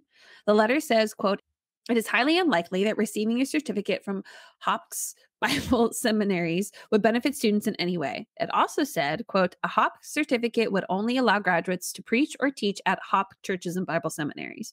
It kind of reminds me of Trump College. Mm, Remember when that was a thing? Yeah, it wasn't. right. It wasn't real. So Exactly. people who This went is- there would go to school and pay all this money and then have nothing because it wasn't legitimate. yeah, well, if your dumbass is going there. I know. God. Um, allegedly, women veteran students were not allowed to preach or teach in the church, even though they used their benefits to attend the classes. Mm-hmm. The credits were also non transferable to any other school. Hop would manipulate veterans into donating their VA disability compensation to the church. The letter said, quote, many veterans were even allegedly told that God blessed you with the disability compensation so you could give your time to him and not worry about working a regular job. As we know, they targeted veterans in order to access the GI Bill funding, VA disability compensation, and VA home loans. One former member, Gladys Jordan, told the Daily Beast that she hasn't seen her son, 28 year old Caesar Vargas, since he left the church in 2016. She said that every time she would call him, he would say, Ma'am, how did you get this number? Gladys' son is now $50,000 in debt and never had a real job and spent money he didn't have on materials necessary to conduct services. Gladys Wow. described Denis as being infatuated with Jim Jones. Gladys told the Daily Oh. Mail, quote, This is a modern day Jim Jones cult. That's my scare, that he's gonna take my son to another country and do the same thing that Jim Jones Jim Jones did. In reference to their Bible college, she told reporters, quote, they have a fraudulent Bible college and a so-called home for soldiers. They bring them in and give them a home-cooked meal, and from there, they have them lie to the VA to get into the Bible college. They steal their benefits and they never get a diploma from there that's worth anything because it's not valid. So a little bit more on this Jim Jones comparison. So the blog site did a great job at tying together the comparisons between Jim Jones and Rony Denis. Oh, okay. Let me hear it. So both claimed to being supernatural, and the blog goes way into it. And at this point, I was like, okay, let's pick one. so I picked the grossest to go into. so they both claimed to being supernatural. They had an intercom, polycom system to be able to reach everybody. right. Anyone who left is automatically considered gay. Hmm Oh, okay. Uh, yeah. And then by far, the sickest is the control over the children. And so this is what the Oh. blog said. The blog reported, quote, if someone is a faithful member, the children must be in the day school. One child told their parents that their teacher at school was teaching the kids that if they overhear their parents speak of leaving the church, they are to run away to another church member's house and that the church would help them become emancipated. Rony Denis also has a private school at his house for a select group of girls that are there to entertain his daughter. He oh. believes that his daughter is better than the normal church kid, so he has created a fake society for his daughter to live in. She will never know what it's like to make her own friends because her friends are assigned to her. These girls that come to be in school with her are also there all day, just about every day to play with her. Whenever she wants these friends, Rony Denis calls the pen- parents and tells them to bring their kids to his house at such and such time. They are not even given an option. Many times, the parents of these girls will only see their own kids late at night when they get the call to come pick up their kids. One child has it even worse. Rony Denis always goes out of town to his beach homes for about two weeks before coming back to Hinesville for two weeks. While he is gone, this one girl always goes with him, and her parents just have a type of shared custody situation with her. This has gone on for years, just so that he can create the perfect and controlled utopia for his daughter at the expense of others. Wow. That is actually incredibly insane. Oh, we're about to f- do full tip. So, remember Adam Bowles and how he said Mhm. that Denis had uh, his wife Julie leave him and move in with him? Yeah. Mhm. Okay. Well, supposedly, when she left, she isolated herself for several years inside Denis's house. She eventually cut off all of her family and friends, even within the church, and only had contact with one person, Denis. Oh my god. Denis denied that she was ever trapped there, but HOPCC hop.com eh, sorry wrote that she displayed signs of someone who had been a prisoner or tortured mentally and physically. She changed her name to Phoebe Ruth Denis, and everyone knew that Denis considered Phoebe to be his second wife. Oh. Everyone knew it was wrong, but too afraid to speak out against it, they went along with it. Even Denis's first wife, Marjorie. Denis got Julie Phoebe to open accounts for a nonprofit that wasn't real and hid it within the church, and they would use it to funnel money in and out over the years. And Mhm. Denis and Phoebe slash Julie uh, were co-account owners on several bank accounts. So she's also now in trouble because she she has her name on all these like pieces of paperwork Right. with like bringing money over and like there's a bunch of money orders and things like that. Right. Exactly. So of course Um, she would be connected. Right. So that's when Julie left Adam, that's what that turned into. Okay. Yeah. So there are audio recordings on hop.com, the website, that are recorded interviews from former members and secret recordings of meetings. One blog post does talk about abuse that was allegedly happening to children. One girl Of reported course. going, right. One girl did report going on these trips that I had mentioned earlier with Denis, but she said there were other girls there, including Denis's daughter. And there's one instance Denis ended up beating all the girls he had taken for the trip. Um, he was unhappy about something. I couldn't bring myself to listen to the whole video, so you are welcome to go check out yourselves. The girl did say that Denis had started beating his own daughter before he even got to the room with the other girls. So, as of 2023, meaning as of this year. Right. This year that's only been lasting, what, seven months so far? Mhm. So, as of 2023, in January, a civil forfeiture complaint for $150,191 in cash held in bank accounts. The complaint also alleged that seminary officials deceived the VA, falsified financial records, lied about faculty qualifications, and fabricated course catalogs. Uh, the report I read said that House of Prayer had required $23 million in VA benefits for more than 200 military members, veterans, and family members to attend HOP schools. Jeez. The complaint also claims that HOP misrepresented hours spent in class, falsified attendance records, encouraged students to lie to officials, and failed to grade assignments or provide graduation completion records. Court Watch reported, quote, investigators found that House of Prayer and various other entities it controlled used at least 20 financial institutions and 80 different bank accounts to move federal money around in attempt to evade detection. Oh, wow. Tax, churches. Absolutely. They should not be tax exempt. Like, ugh. Ugh.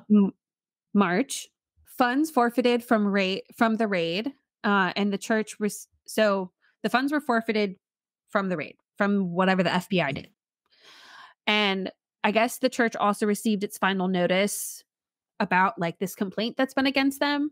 If they don't say anything, then it's almost like a decision is put in for you. Mm, which, mhm. since they didn't submit a request to challenge the complaint, subsequently they were essentially pleading the fifth. So, for any Okay. non Americans out there, we Hmm. have amendments as part of our Constitution. And the Fifth Amendment. So, if you ever heard the saying, I plead the fifth, meaning like you don't want to incriminate yourself. So, that's you saying you don't have to say anything if you don't want to. Right. Because what you said could incriminate you. So, you're allowed Mhm. to not say anything. Yeah. So, there you go. I, my mom and I were watching a show, and someone must have had a British accent. Definitely was not from here. And one of the people was American, and he's like, "I plead the fifth. and I go, "People from America don't know what that means." my mind was blown. Uh, as of May of this year, a court sealed civil lawsuit has been filed against the House of Prayer targeting Ronnie Dennis. The hop.com, so remember H O P C C, all lowercase, dot com, Mhm. continues to post updated information about the court proceedings, and they have they have many official court documents. So I'm I really think the information is legit and they can go a lot more in depth. So, final thought before I kind of wrap things up. Uh, Rick Alan, who is the executive director of the Cult Education Institute, told military.com, quote, when we see somebody who is a member of a destructive cult or a destructive authoritarian group like House of Prayer, we don't really understand how isolated they are. He went on to say, quote, the leader indoctrinates the members to have unreasonable fears of the outside world. You have to understand that once people have become involved in a group like this, that becomes their social environment. So that's where their friends are. That's where their family may be. And if they leave, they will be cut off. and especially if they grew up in this, this is all they know. and that is the House of Prayer Christian Church. So, charges pending. Actually, no criminal charges have been filed. It's all civil lawsuits so far. I, I mean, even just moving around money, that I feel like that's illegal. yeah, there's I think that's going to be more of the federal side. It, it was hard to tell like because the FBI didn't tell anybody like any reporters why they were Mhm. raiding. I still don't know if they told like why Right. this is just all other investigative work that people have done to figure out what's going on. Wow. Yeah. So they raided the churches in June of 2022. And as of May 2023, hmm civil lawsuits I know have been against the church. Well, at least there's something, and it might be a waterfall type of thing where these ones start, and then from there it just keeps going. Yeah. I mean, I think the whole stuff with the VA and like, Oh, that's definitely going to be federal. yeah, I think that's really where they're going to meet their downfall, which is oh, essentially how. I mean, because the only reason why we know about this cult in the first place, because even though there had been protests about it and there's the whole website that has been up since at least 2017, 2018, the only reason this is really, really coming into the news is because the education success people back in 2020 sent a letter to the VA being like, uh, hey, some shady shit is going on here. You need to take a look at them. And then it blew up. Good. So there was some guy, I think he was a representative. He was someone for the VA, and he was like, This is embarrassing. Yeah, it is. And I'm like, It should be. yes, you should have to like at least check to see where the VA money is going and like the GI Bill and all that stuff. mm-hmm. Exactly. So, Wow. And especially Yeah. because it's modern day. yep. Yep, yep, yep. Damn. Yep, yep, yep. Well, nice coverage. Nicely done. Thank you, thank you. Wow, I did not think Georgia would be like this. Cult fucking central, my guy. Like, damn. Jeez.